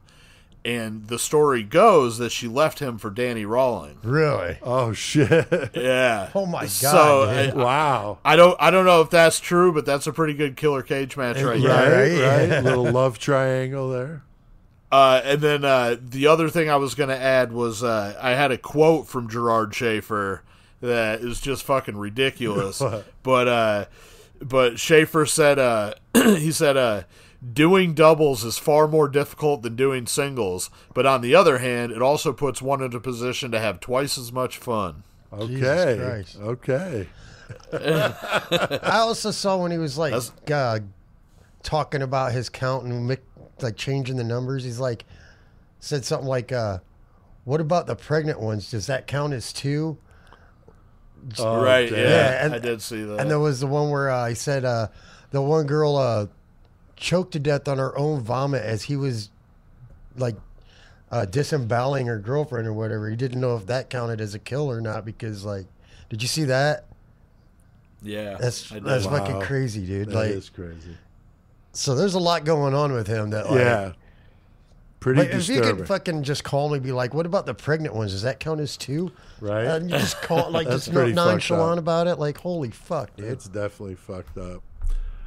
All right. Well, very good. I did my research for this one by watching a couple of good documentaries on YouTube, a few articles on Murderpedia. I love that uh, website. Also reached out to author Sa- Sandra London, as I mentioned, um, about having her come on, but she wanted it to coincide with the book she has coming out, and it didn't work out. So it would have been cool, but it wasn't able to happen. Um, we do have Well, if you talk to her again, ask her about the Danny Rollings. I will, Yeah, dude. right, I will. sure. Yeah, the Yeah. old singing serial killer himself, Gainesville Ripper. All right. So uh, next week, though, we're going to be doing a bonus episode since we're going to be at the Dark History Convention, and we're going to be doing the Hanging Coffins of China. Uh, definitely a really cool story that I stumbled on, and we're going to be doing that one next week. Uh, since we'll be busy uh, with the Dark History Convention. So, Joey, got any good page a days for us? Yeah, I got some page a day. Fucking, we're fucking doing this one fucking on the video. So fucking Yeah, Chris stepped out. Fla- do a, flash I think he's got a piss. His bladder's the size of a grape nut. So, You know how Chris is. Oh, He- yeah. he, drinks a few. just in case people are wondering what the hell happened, Chris just gets up and walks out. That's how it goes here. You don't see that when you're listening to the podcast. No. but now we But now got that we got the we video, you got proof. Joey. We got proof. All right, so uh, we're going to talk about these page days. I got a few of them. Um, Okay. the first one is about the murder of Angie Zapata. So Angie Zapata was just 18 years old when she was murdered by Allen Andrade on July 17th, 2008. So Zapata met 31 year old Andrade on the social networking site Moco Space, and the two met up at Zapata's Greeley, Colorado apartment on July 15th. So they spent almost three days together before Andrade discovers that Zapata was actually a transgender. Oh. So when he learned her identity, he begins beating her first with his fists and then with a fire extinguisher. Uh, he cleaned up the scene, stole Zapata's car. When police picked him up two weeks later, he saw he said that he thought that he quote killed it. Oh boy. Uh, at, and At Andrade's trial, his defense lawyers repeatedly refused to call Angie by her name and frequently misgendered her.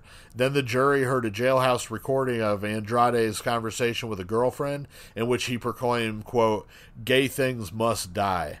So Zapata's family pushed prosecutors to pursue the hate crime charges, and on April 22nd, 2009, Andrade was found guilty on first degree murder, hate crimes, aggravated motor vehicle theft, and identity theft. Uh, he was sentenced to life without the possibility of parole plus 60 years due to six prior felonies. In this 2009 trial was the first to result in a hate crime conviction of crimes against a transgender person. Wow. That's fucked up. Yeah. Okay, so the second one is about a cold case that was that ended up getting cracked. So on Halloween 1979, a woman's body was found in a culvert along I-35 in Georgetown, Texas. So she had been strangled and sexually assaulted. Her body was left entirely nude except for a pair of orange socks and a pearl stone ring. Uh, serial killer Henry Lee Lucas, he admitted to killing her, though this was later called into question because it came into light that he had read about the case before his confession, and we know how he Right, was. So, right. um, That's in August socks. 2000, Orange Sox, yep. In August 2019, Orange Sox was identified as 23 year old Deborah Jackson. Uh, they did that through the DNA Doe Project, and uh, they identified a potential cousin. But it was a re- it was a rendering of Jackson by a digital forensic artist that actually broke the case. Because whenever the image caught the eye of Jackson's sister, she contacted the authorities. Um, they identified her by some scars on her legs, her distinctly long toes, and unique earlobes. Uh, DNA was given by her sister to confirm the identity. They just thought that back then that she struck out on her own, and they never even reported her missing. No shit. Wow. That's fucked Yep. up. Uh, next one I got is about uh, a blanket immunity law. This is pretty fucking weird. So in 2017 in New Hampshire, there was a law that accidentally gave blanket immunity to any pregnant women who committed second degree murder, manslaughter, negligent homicide, or caused an aided suicide. Uh, they def- they they were defining a 20 week old fetus as a person ostentaneously for the purposes of prosecuting the murders of pregnant women. So it's like if you murder a woman that's pregnant, then you're also then Right. guilty for the uh, fetus inside right, them. right, so that that's what the whole thing was. But they were complaining that the law could possibly criminalize women who were seeking abortion. So it was, you know, a whole political thing that was going on up there. Oh, yeah. So, so to appease the Democrats, the Republicans hastily changed the language, unintentionally wording it so pregnant women could not be charged with homicide and could kill anyone with legal impunity.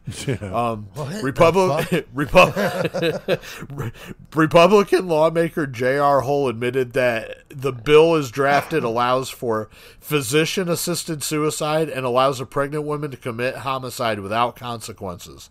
And although that was never the intent, that is the clear reading of the language. Jesus. So the law was only on the books for one week before the legislature was able to clarify the language and you know grammar that was right. used It's like the fucking to, to purge. make it make sense. It's like the purge. Going yeah, on. for sure. It's like, man, thank God somebody didn't fucking figure that out at the wrong time. you know? God Right. damn. All right. Wow. Uh, I got I got one more. Oh, something else. You know, I was gonna bring up too. Um, before I say this last one on page today was, uh, you guys know or people that listen know that I really like the the interviews and stuff. Well, uh, Blue Dot Crime. I'm gonna shout their name out because they're one of my favorite uh, inter- uh, interrogation fucking channels on YouTube. But they've started playing um, the Jeff fucking Pelo uh, interrogations, which that's a case I want to do real bad on here. Okay. But that's from Bloomington. He was a police sergeant in Bloomington that was convicted yeah. serial rapist. Right. But that dude was involved in all kinds of other shit. But anyway, I've never seen the interrogations with him, and that's what Blue Dot's doing now. They got that, and they got some witness interrogation Oh, and stuff cool. like that. So it's been really cool. I was reading about that, and then we're doing the Gerard Schaefer, you know, another cop killer Yeah. case. So uh, anyway, I just wanted to bring that up real fast. Cool. But um, So uh, for page today, this is going to be the last one, and this one's pretty cool. Uh, they're talking about uh, states with the highest number of serial killer victims. Oh shit! All right. So, so leading off at number one, the state with the most serial killer victims uh, is California, and they have one thousand six hundred and twenty-eight as of twenty twenty. Wow. And that's So, just uh, serial killer victims, right? Yeah. God damn, Yeah, dude. and they say they say in the 1980s, one in five of all murders by serial killers occurred in California. God. That shows you how much serial killing was going on in Right. that fucking state. God Right. damn. Uh, so uh, the other ones in the top five, uh, number two is Texas with 893. Three is Florida with 845. Number four, represent Illinois with 629. and then uh, t- the fifth one to top it off is New York with 628. Wow. That's fucking crazy to think that fucking Illinois, beat- beats out Yeah, New that was York. That just gonna crazy. say that. That's fucking nuts, dude. yeah, that's Chicago. Chicago. I don't know. I mean, that's serial killers. I don't know how they fucking clarify that. really, Right, but- right. Uh, so anyway, and then also they said states with the fewest serial killer victims: North Dakota and Vermont, both with eleven each. Hawaii and New Hampshire with ten each, and South Dakota with seven. God damn. So Wow. fucking big changes there. Definitely, definitely. But anyway, yeah. So that's page a day. So fucking thank you guys for Hell fucking yeah. listening to Page that. a day's good stuff for sure. All right, guys. Well, we have done our fair share of murder tonight. Hopefully, our our viewers on YouTube enjoyed watching us do this segment. And Hell I think it's time to crank up some metal. Drink beer. So, Joey, what the hell do we need to do? Let's get our metal Just because CK has passed on, he's not done educating the masses.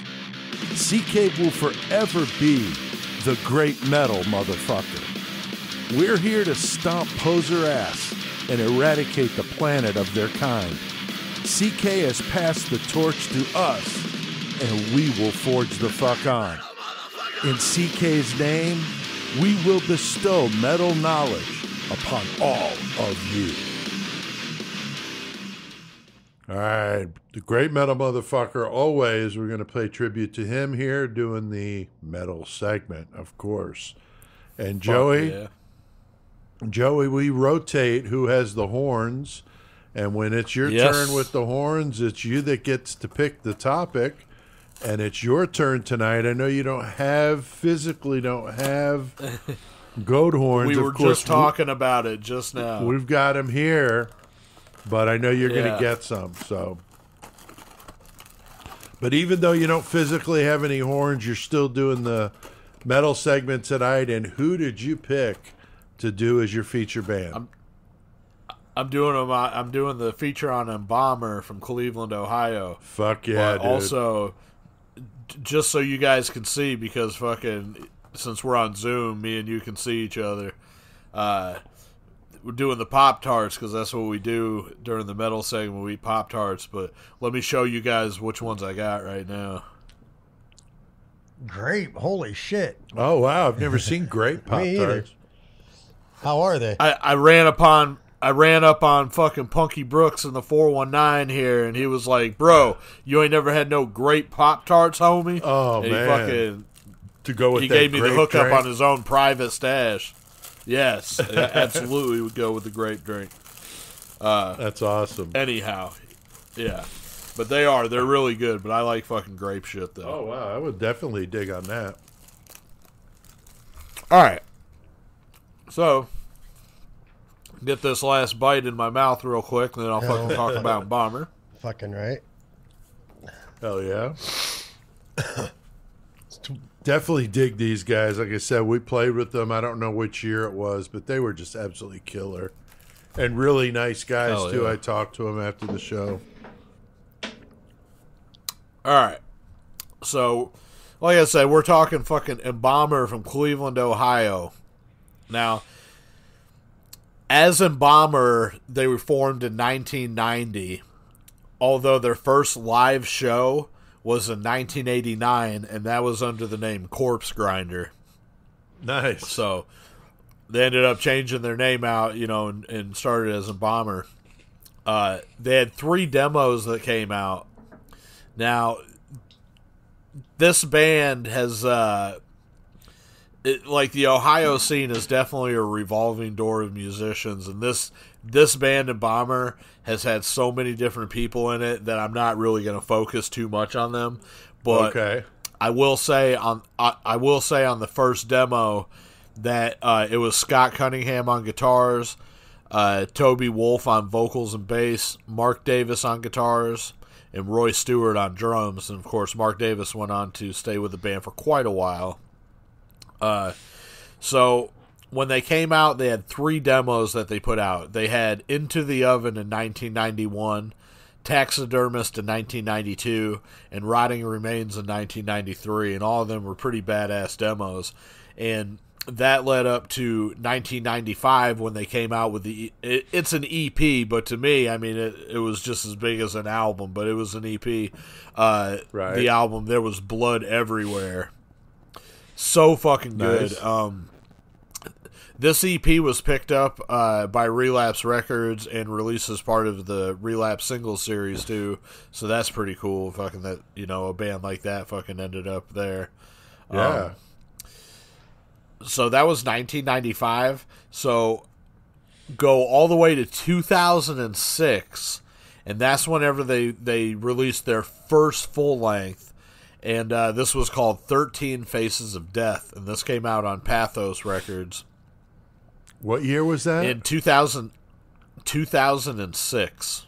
okay, I think that's the one So, I got. a long time after yeah a long time after the inception um, this band has been around you know in one form or another for a really really long time but only have a handful of albums out and it, it's not necessarily a terrible thing because every one of them is a quality album so i guess that says something Right. um, so, so uh, in 2012, they came out with the collection of Carnage, which came out on Severed Records, and this was basically uh, most all their songs they had up to that point all re-recorded.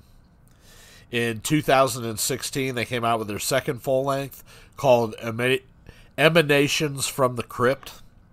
Uh, this is whenever they got Paul Gorfine on his vocals, and uh, he's been with them for a while. And then Brian Baxter joined uh, on guitars with the band. And Baxter, he's a really awesome guy. He's really big in the scene, and he does a label called the Bladed Records. Um, yeah. the the Emanations from the Crypt album that came out on Hell's Headbangers Records. And in 2019, they released a live album called Embalmed Live, which also came out on Hell's Headbangers. Uh, all of these tracks were recorded live all the way through. There was no studio magic, triggers, edits, or nothing like that. It was just a raw recording of them playing the songs live. That's which wicked. was really cool. Yeah, that's fucking wicked. So, I mean, that's pretty much it with Embalmer. Like I said, they've been around a long time. They're a fucking staple of the fucking Midwest grind scene for sure. Uh, the work that those guys did back and forth with Illinois bands, you know, is fucking phenomenal and helped create, you know, the huge network that was going on. And, you know, these guys are still out there. Uh, I was just hanging out with Brian at Chicago Domination Fest. He had his, his, uh, Ablated Records, um, kiosk set up there.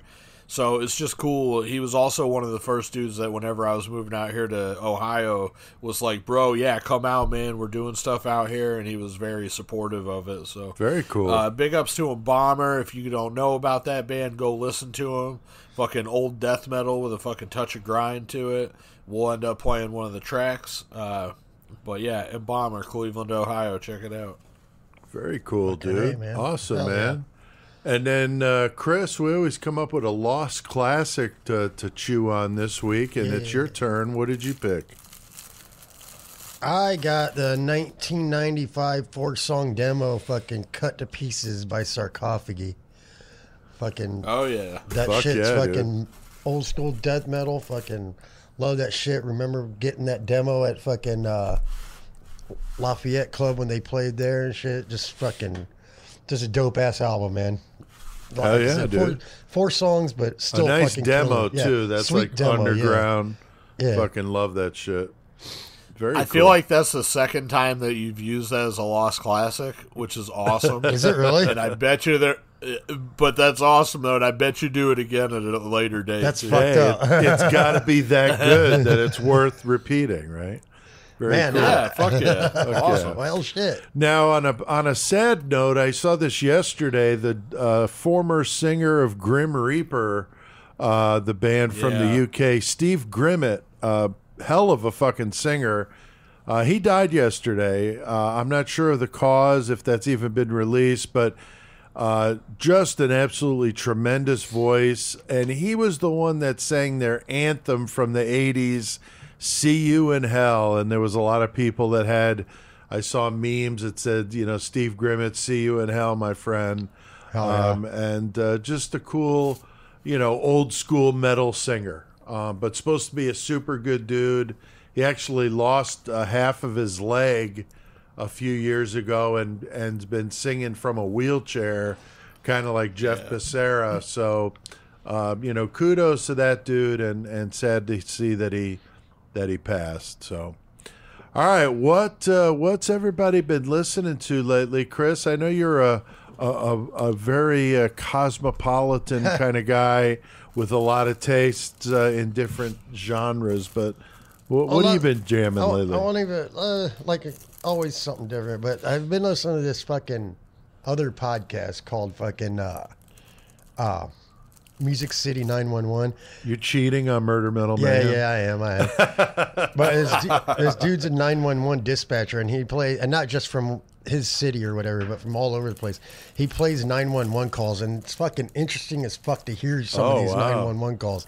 They're fucking intense. A lot of them. Like, people watching murders happen, like active active shootings going on. The, hearing Oh, the 911 calls is crazy. But I listened to one today that I just wanted to mention real quick. This motherfucking dude, he fucking it, it- he didn't actually call 911 on this one. He called the sheriff's office, and he's bitching at this cop. He's like, "I was in a hotel last night. These fucking cops came to my house and stole my weed from my wife. Fucking, I want my fucking weed back. Fucking, it was only four grams, but it was fucking really good weed. I don't know what the fuck's going on. And, and it's just fucking hilarious. Listen to this guy bitching at this cop because cops stole his weed in a place where it's not legal. So like, it was just fucking hilarious. That's Yeah. cool though. That's cool. but yeah, I, li- uh, different podcasts and different music. But yeah, the fucking nine, the Music City nine one one is like holy fuck, dude. That's cool. Like hearing as the shit's going down. yeah, that's pretty interesting. Joey, what about you, man? Uh, over there in the four one nine, what you been jamming? You I was Punky? listening to, uh, yeah, for sure. Um, uh, the anniversary of Internal Bleeding, Driven to Conquer, just passed, so I was jamming that. Um, I was listening to uh, Cephalic Carnage, Conforming to Abnormality, and uh, I was listening to uh, some Eyehategod in the Name of Suffering. So, jamming a little bit of different shit. That's cool. Last That's night I was listening to the new uh, Cranium split with. God, is, I think that's a new one. Derek was playing it last night. I don't remember what it was, but it was fucking dope. That's cool. I've been jamming some Hell Drifter. I did the review of their Lord of Damnation album. I haven't published it yet, only because I like to run it past the band first to make sure I didn't spell anybody's name wrong or anything that's factually wrong. Um, I'm waiting for them to give it back, but uh, but yeah, I've been jamming the hell out of that Lord of Damnation album. I saw we had a couple listeners posting, "Hey, I really like Hell Drifter." on the Facebook page. So that's really cool giving those guys a listen. And um, I'm going to be doing an interview with their singer, Billy. Uh, we haven't worked out the date yet, but that'll probably be my next feature if I can get it done in time, uh, which I think I can because we got the bonus next week. So my next turn will be uh, a couple weeks. So I, I think I can. I could pull it together by then. I've also, like you, Chris, been listening to some podcasts lately, mostly on Elizabeth Bathory. I've been doing some research on her. Uh, I know we've talked about doing an episode with her, so that's a for sure. But um, I'm also working on a short story idea where a fictitious uh, prison guard carries on a, a conversations with her, and she talks about her crimes and uh, working that into a, a a short story that's fiction, but with real life characters like Elizabeth Bathory. So, so I've been jamming some of that and listening to some pretty good stuff. And there's a lot of different uh, theories about her. Maybe that she didn't do any of the things they claim she did. That maybe she was framed to put her in prison to get her money, which would not totally surprise me. Uh, in the way of you know the 1600s and all the crazy shit that happened with fortunes and kings and queens and just all that kind of shit, Right. Game of Thrones style stuff. So, uh, so yeah, so that's what I've been listening to. Uh, bands, if you're in a band and you want to get a hold of us to let us play your music, uh, you can contact us at pete at murdermetalmayhem.com. No guarantee we're going to play it, but we'll check it out. And if we like it, we'll get a hold of you. Maybe we'll do an interview. Maybe we'll do a review, or maybe we'll have you on the show. Uh, but uh, uh, if you want to send it old school, you could send it to Murder Metal Mayhem, P.O. Box 554, Heyworth, Illinois 61745. And if you want to throw in a sticker or two, and, you know, hey, throw in a box of Pop Tarts, that's not going to hurt. All right. Listeners need to step up your Pop Tart game here because that's what we like to eat when we're doing our metal segment. So. Uh, now, Chris, you got the horns next. Any idea You what you're going to be doing? You do. Or I do. Yeah, that's right. I do. Uh, sorry, Chris. I probably freaked you out. Like, oh my God, no. No, yes, it's my turn next. I think I'm doing Hell Drifter. Uh, if I can get the interview done before, then uh, then yeah, it'll be me. Uh, also, guys, our 666 Club, a way that people can support the show. Uh, Patreon.com slash Murder Metal Mayhem. Three bucks a month.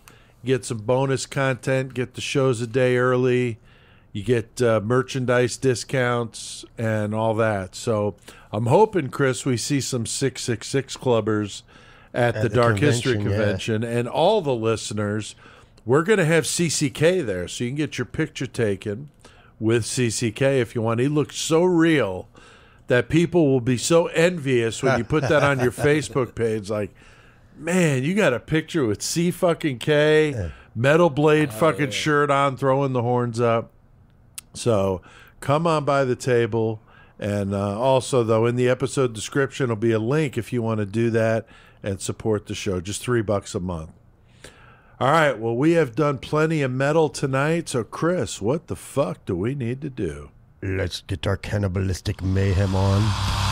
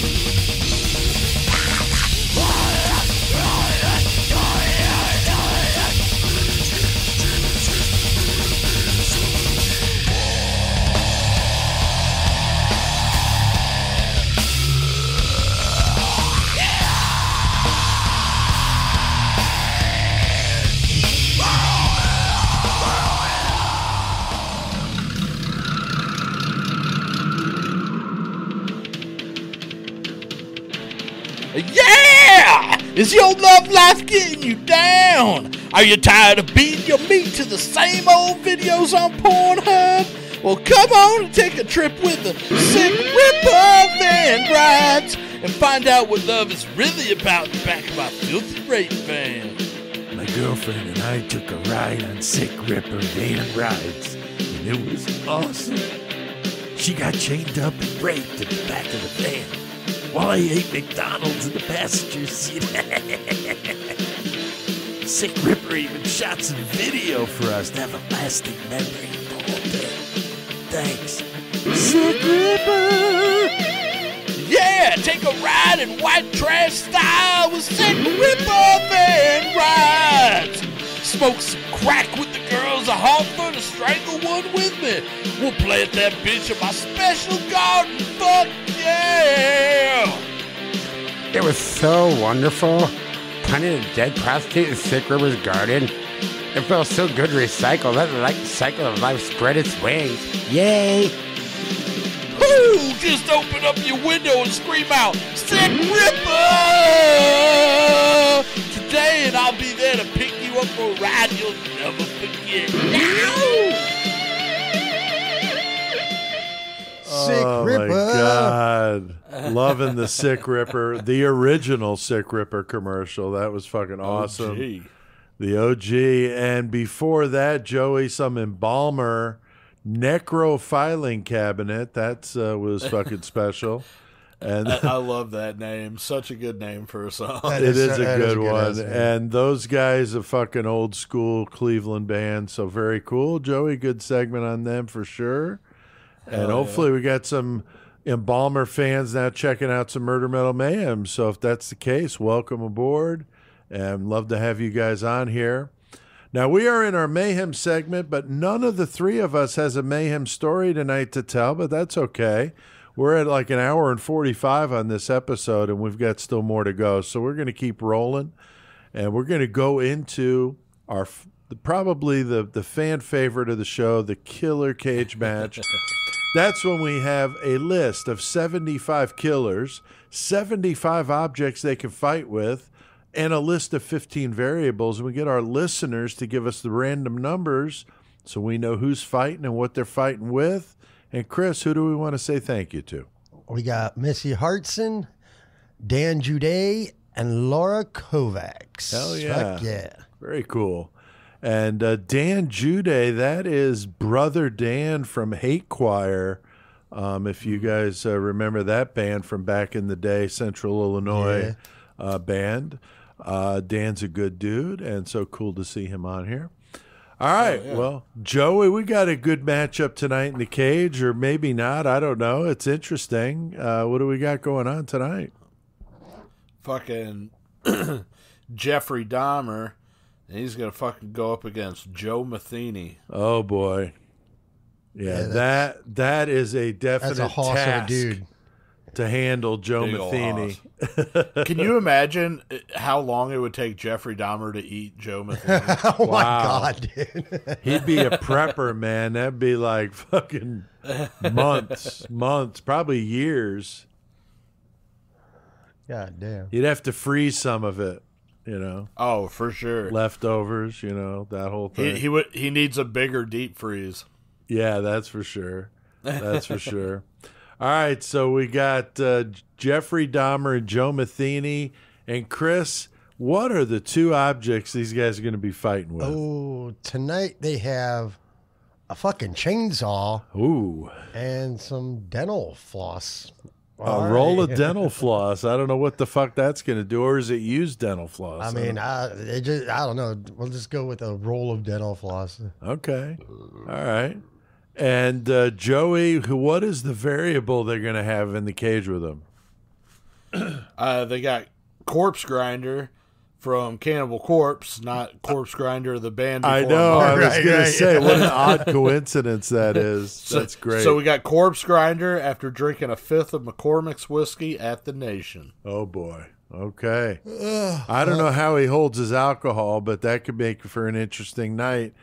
So we got Jeffrey Dahmer and Joe Metheny going at it in the cage with a chainsaw, some dental floss, and Corpse Grinder is running around in there with his fucking thick ass neck after drinking a fifth of McCormick's whiskey at the Nation. Chris, what in the fuck do we even do with this one, man? Uh, I'm gonna go like first of all, Corpse Grinder fucking got a fifth of whiskey at the Nation. We all just gonna sit around and watch the show all together. Like, let's see what happens with this shit right here. Corpse Grinder just sitting back with all of us. We got some metal jamming in the back, fucking drinking whiskey. Like, fuck yeah. So then uh, you get uh, Metheny out there, and he's fucking huge, dude. He's a fucking mountain of a man compared to Jeffrey Dahmer. Right. So like He just gonna he just gonna grab Dahmer, bear hug the shit out of him, and just crush him. Fucking use the fucking chainsaw to chop him up and fucking grind him up, and use the dental floss to fucking tie him up to throw on the smoker like he's a fucking pork roast. Oh, fucking Throw wow. him on the pork roast. Throw him on the smoker. Fucking nation, corpse grinder, Metheny. We're gonna sit around the nation and eat Jeffrey Dahmer. Oh wow. Okay. All right. No barbecue oh, sandwiches. No, no. All right. All right. Very cool. Very cool. Joey, what do you think about this one, man? Does Dahmer stand a chance? I don't know how much Metheny weighed at the at the height of all this, but I'm gonna guess like four something, maybe five. I mean, he was fucking humongous. Yeah. Uh, so my variation of the uh, Killer Cage match this week, uh, when that bell rings, fucking Jeffrey Dahmer, he's just fucking running, juking, fucking sliding around Joe Metheny because he's fucking way too quick for him. Joe Metheny, Joe Metheny takes about three or four fucking grabs at Dahmer, and he's so fucking winded and tired out that he just fucking falls on the ground and fucking has to take a fucking nap because he has that itis from all them ribs he was eating. so fucking Jeffrey Dahmer sees that as his opportunity. Fucking corpse grinder. He drank a fifth of whiskey at the fucking nation. He's already passed out over in the corner. He's not even watching the show. Oh, okay. So fucking Jeffrey Dahmer grabs that fucking that fifth bottle off him and fucking smashes it. Fucking takes the fucking top part of the bottle, shoves it into Joe Metheny's head, and tries to fucking lobotomize him. He can't fucking figure out how to do it because he can't find no brain in that fool's fucking head. so he says, fuck it. He says, fuck it, and he grabs that fucking dental floss and he fucking digs around until he finds the little penis that's hiding in Joe Metheny's fat fucking rolls, pulls oh, it out with the dental floss and fucking ties it up and fucking chops it off and he gets him a little two inch souvenir of Joe Metheny. then he grabs that then he grabs that chainsaw and he fucking cuts Joe Metheny's neck off, goes over and cuts Corpse Grinder's neck off, and he has him a double ass neck sandwich. God fucking damn. Jeffrey Dahmer wins. Oh All wow! right. yeah, that was that was that was interesting. All right. That's for sure. I like that. Very cool. I I like that a lot. Double neck sandwich. It's it's next level. Yeah. it's Who, next level. Fuck off. who has a thicker neck, Joe Metheny or Corpse Grinder, man? Dude, I don't Whew, know. Jesus, that's brutal. All At right. least, uh, I mean, uh, corpse grinders is there prevalent. Like Metheny's is kind of shorter. right, right. Yeah. All right. Well, very cool. Love doing some Killer Cage match. All right. My book, Deeper Than Dead, is out now. It came out in June. So you can get a copy. Go to deeperthandead.com and order yours today. And I've been cranking out a lot of short stories lately, getting ready for the next creation of chaos. And I'm about ready to start the next novel here in the next couple weeks. So I'm excited about that. It's going to take me a while, but uh, the only way to do it is writing one page at a time. So that's got to start at some point. Also, we've mentioned this before. Do not forget to come and see us at the Dark History and Horror Convention this weekend. Coming out the day after this episode drops, Friday, August 19th. That's 2022, from uh, 4 to 8 p.m. And then Saturday, August 20th, from 10 a.m. to 7 p.m. Um, it's at the I Hotel in Champaign, Illinois. And I'll link to it in the episode description if you want to get your tickets. They got all kinds of actors, authors, movie producers, podcasters, A lot of other shit. a lot of shit going on. Tattooing, I mean, all sorts of shows, movie screenings. I mean, it's going to be wild. I don't know how I'm not going to go broke buying shit at this thing, but I'm going to try to resist and just buy maybe a couple cool things.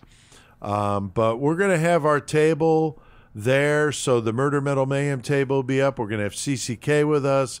Brian Usual, the artist that's uh, done the Deeper Than Dead stuff, he's going to be there signing copies with me. Chris, you're going to be there. I mean, it's going to be a lot of fun. It'll be a good time. It So, always is. yeah, so don't forget that. Uh, come out one of the days, both the days. Get your picture taken with CCK um, and just come on and say hi. All right, the YouTube channel. We got this video from tonight that we did the murder segment on. That will uh, be you'll be able to see us talking about this shit and Oh, yeah. uh, Brady Bunch style on Zoom. So go subscribe to that YouTube channel. I linked to that in the episode description to make it real easy for you. All right. Well, I think we have done plenty of mayhem tonight. So I think it's time to hit the outro.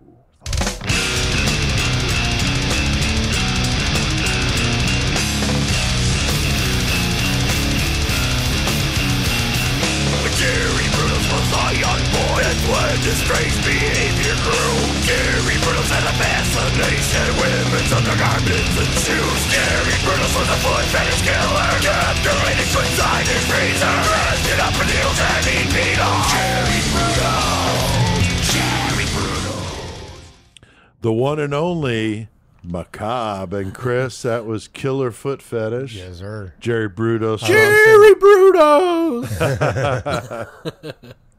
I think hearing Rick Fisher talk about those guys made me want to throw in that track tonight. So Hell yeah. fuck yeah. All right, Joey, who is our bumper music tonight?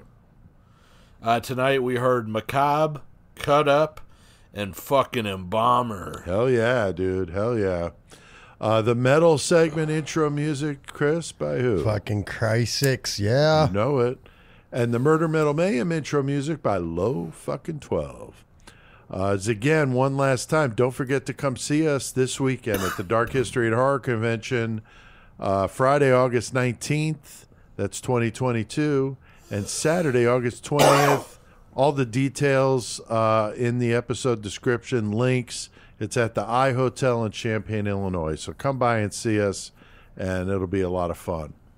All right. Thanks to everybody out there listening. We keep seeing those numbers rolling in.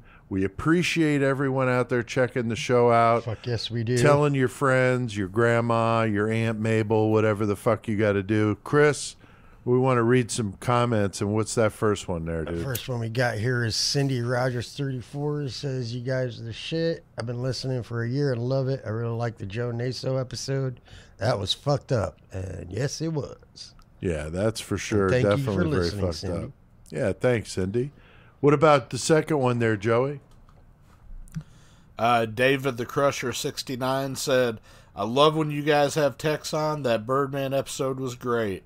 Thank you. We love having Tex. Hell Yes, yeah, definitely love having Tex on the show. That's for sure.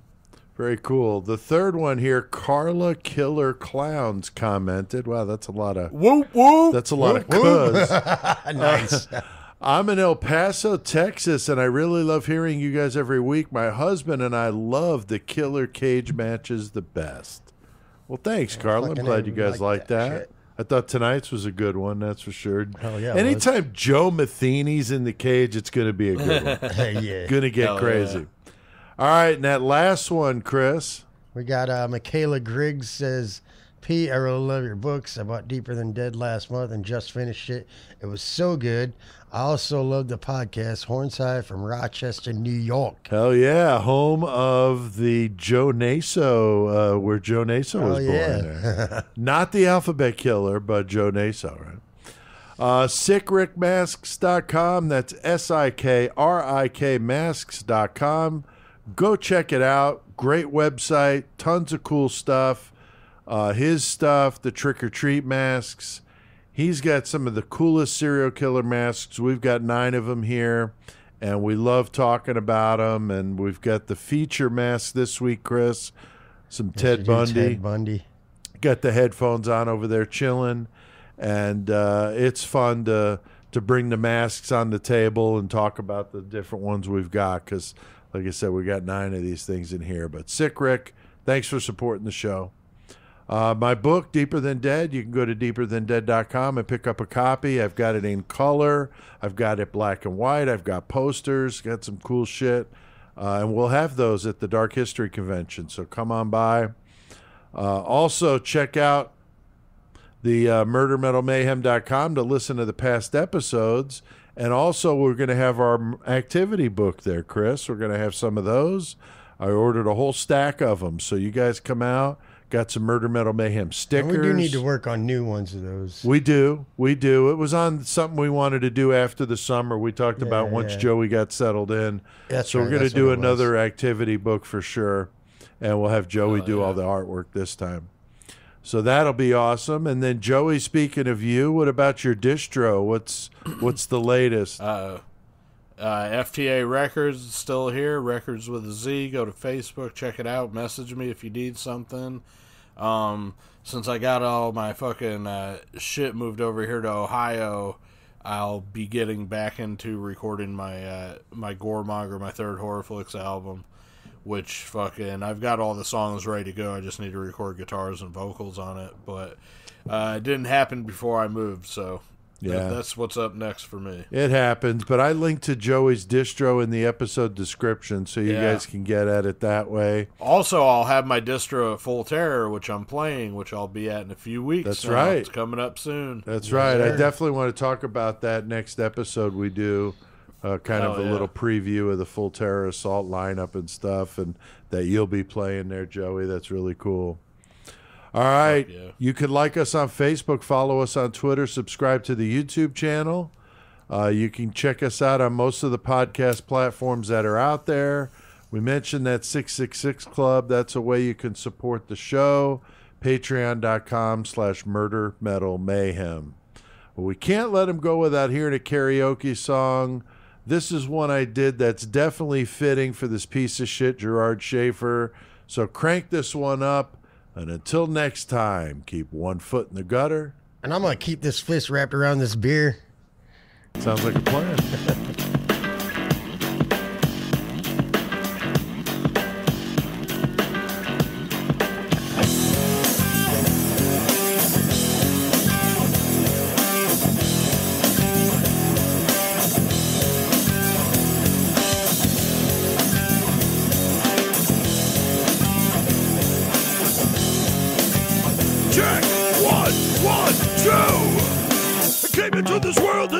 Look into these eyes, then you see the size of the flame. Dwelling on the past, burden on my brain. Everyone that burns to learn from the pain. Hey, I think about the day my girlie ran away with my pay when the fellas could play. Now she's stuck with my homies and she fucked. I'm a sucker with the lump in my throat. Hey, like a chump, I'm like a chump, like a chump, like a chump. I'm like a chump, like a chump, like a chump. Should I be feeling bad? Should I be feeling good? It's kinda sad. I'm the life laughing stock of the neighborhood, and you would think I'd be moving on, but I'm a sucker, like I said. Fucked up in the head, not. Maybe she just made a mistake, and I should give her a break.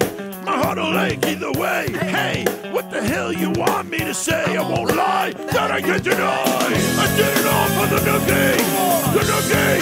So you can take the cookie, sing it up your, sing it up your, sing it up your, sing it up your. Did it all for the nookie, the nookie. You can take the cookie and stick it up your, stick it up your, stick it up your, stick it up your ass. Why did it take so long? Why did I wait so long, huh? To figure it out, but I didn't, and I'm the only one underneath the sun who didn't get it. I can't believe that I could be deceived. By my so-called girl, but in reality had a hidden agenda. She put my tender heart in a blender. Till I surrendered. Hey, like a chump, I'm like a chump, like a chump, like a chump, I'm like a chump, like a chump, like a chump.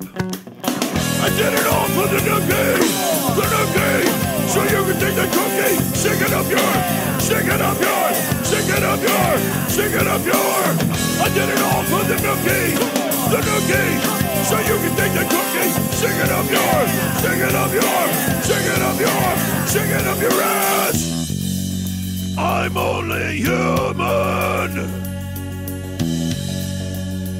It's so easy for your friends to give you their advice. They'll just tell you, just let it go. It's easier said than done. I appreciate it, I do. But just fucking leave me alone. Leave me the fuck alone. Leave me alone. Nothing's gonna change. And you can't go away. And I'm just gonna stay here and always be the same. And nothing's gonna change. Cause you can't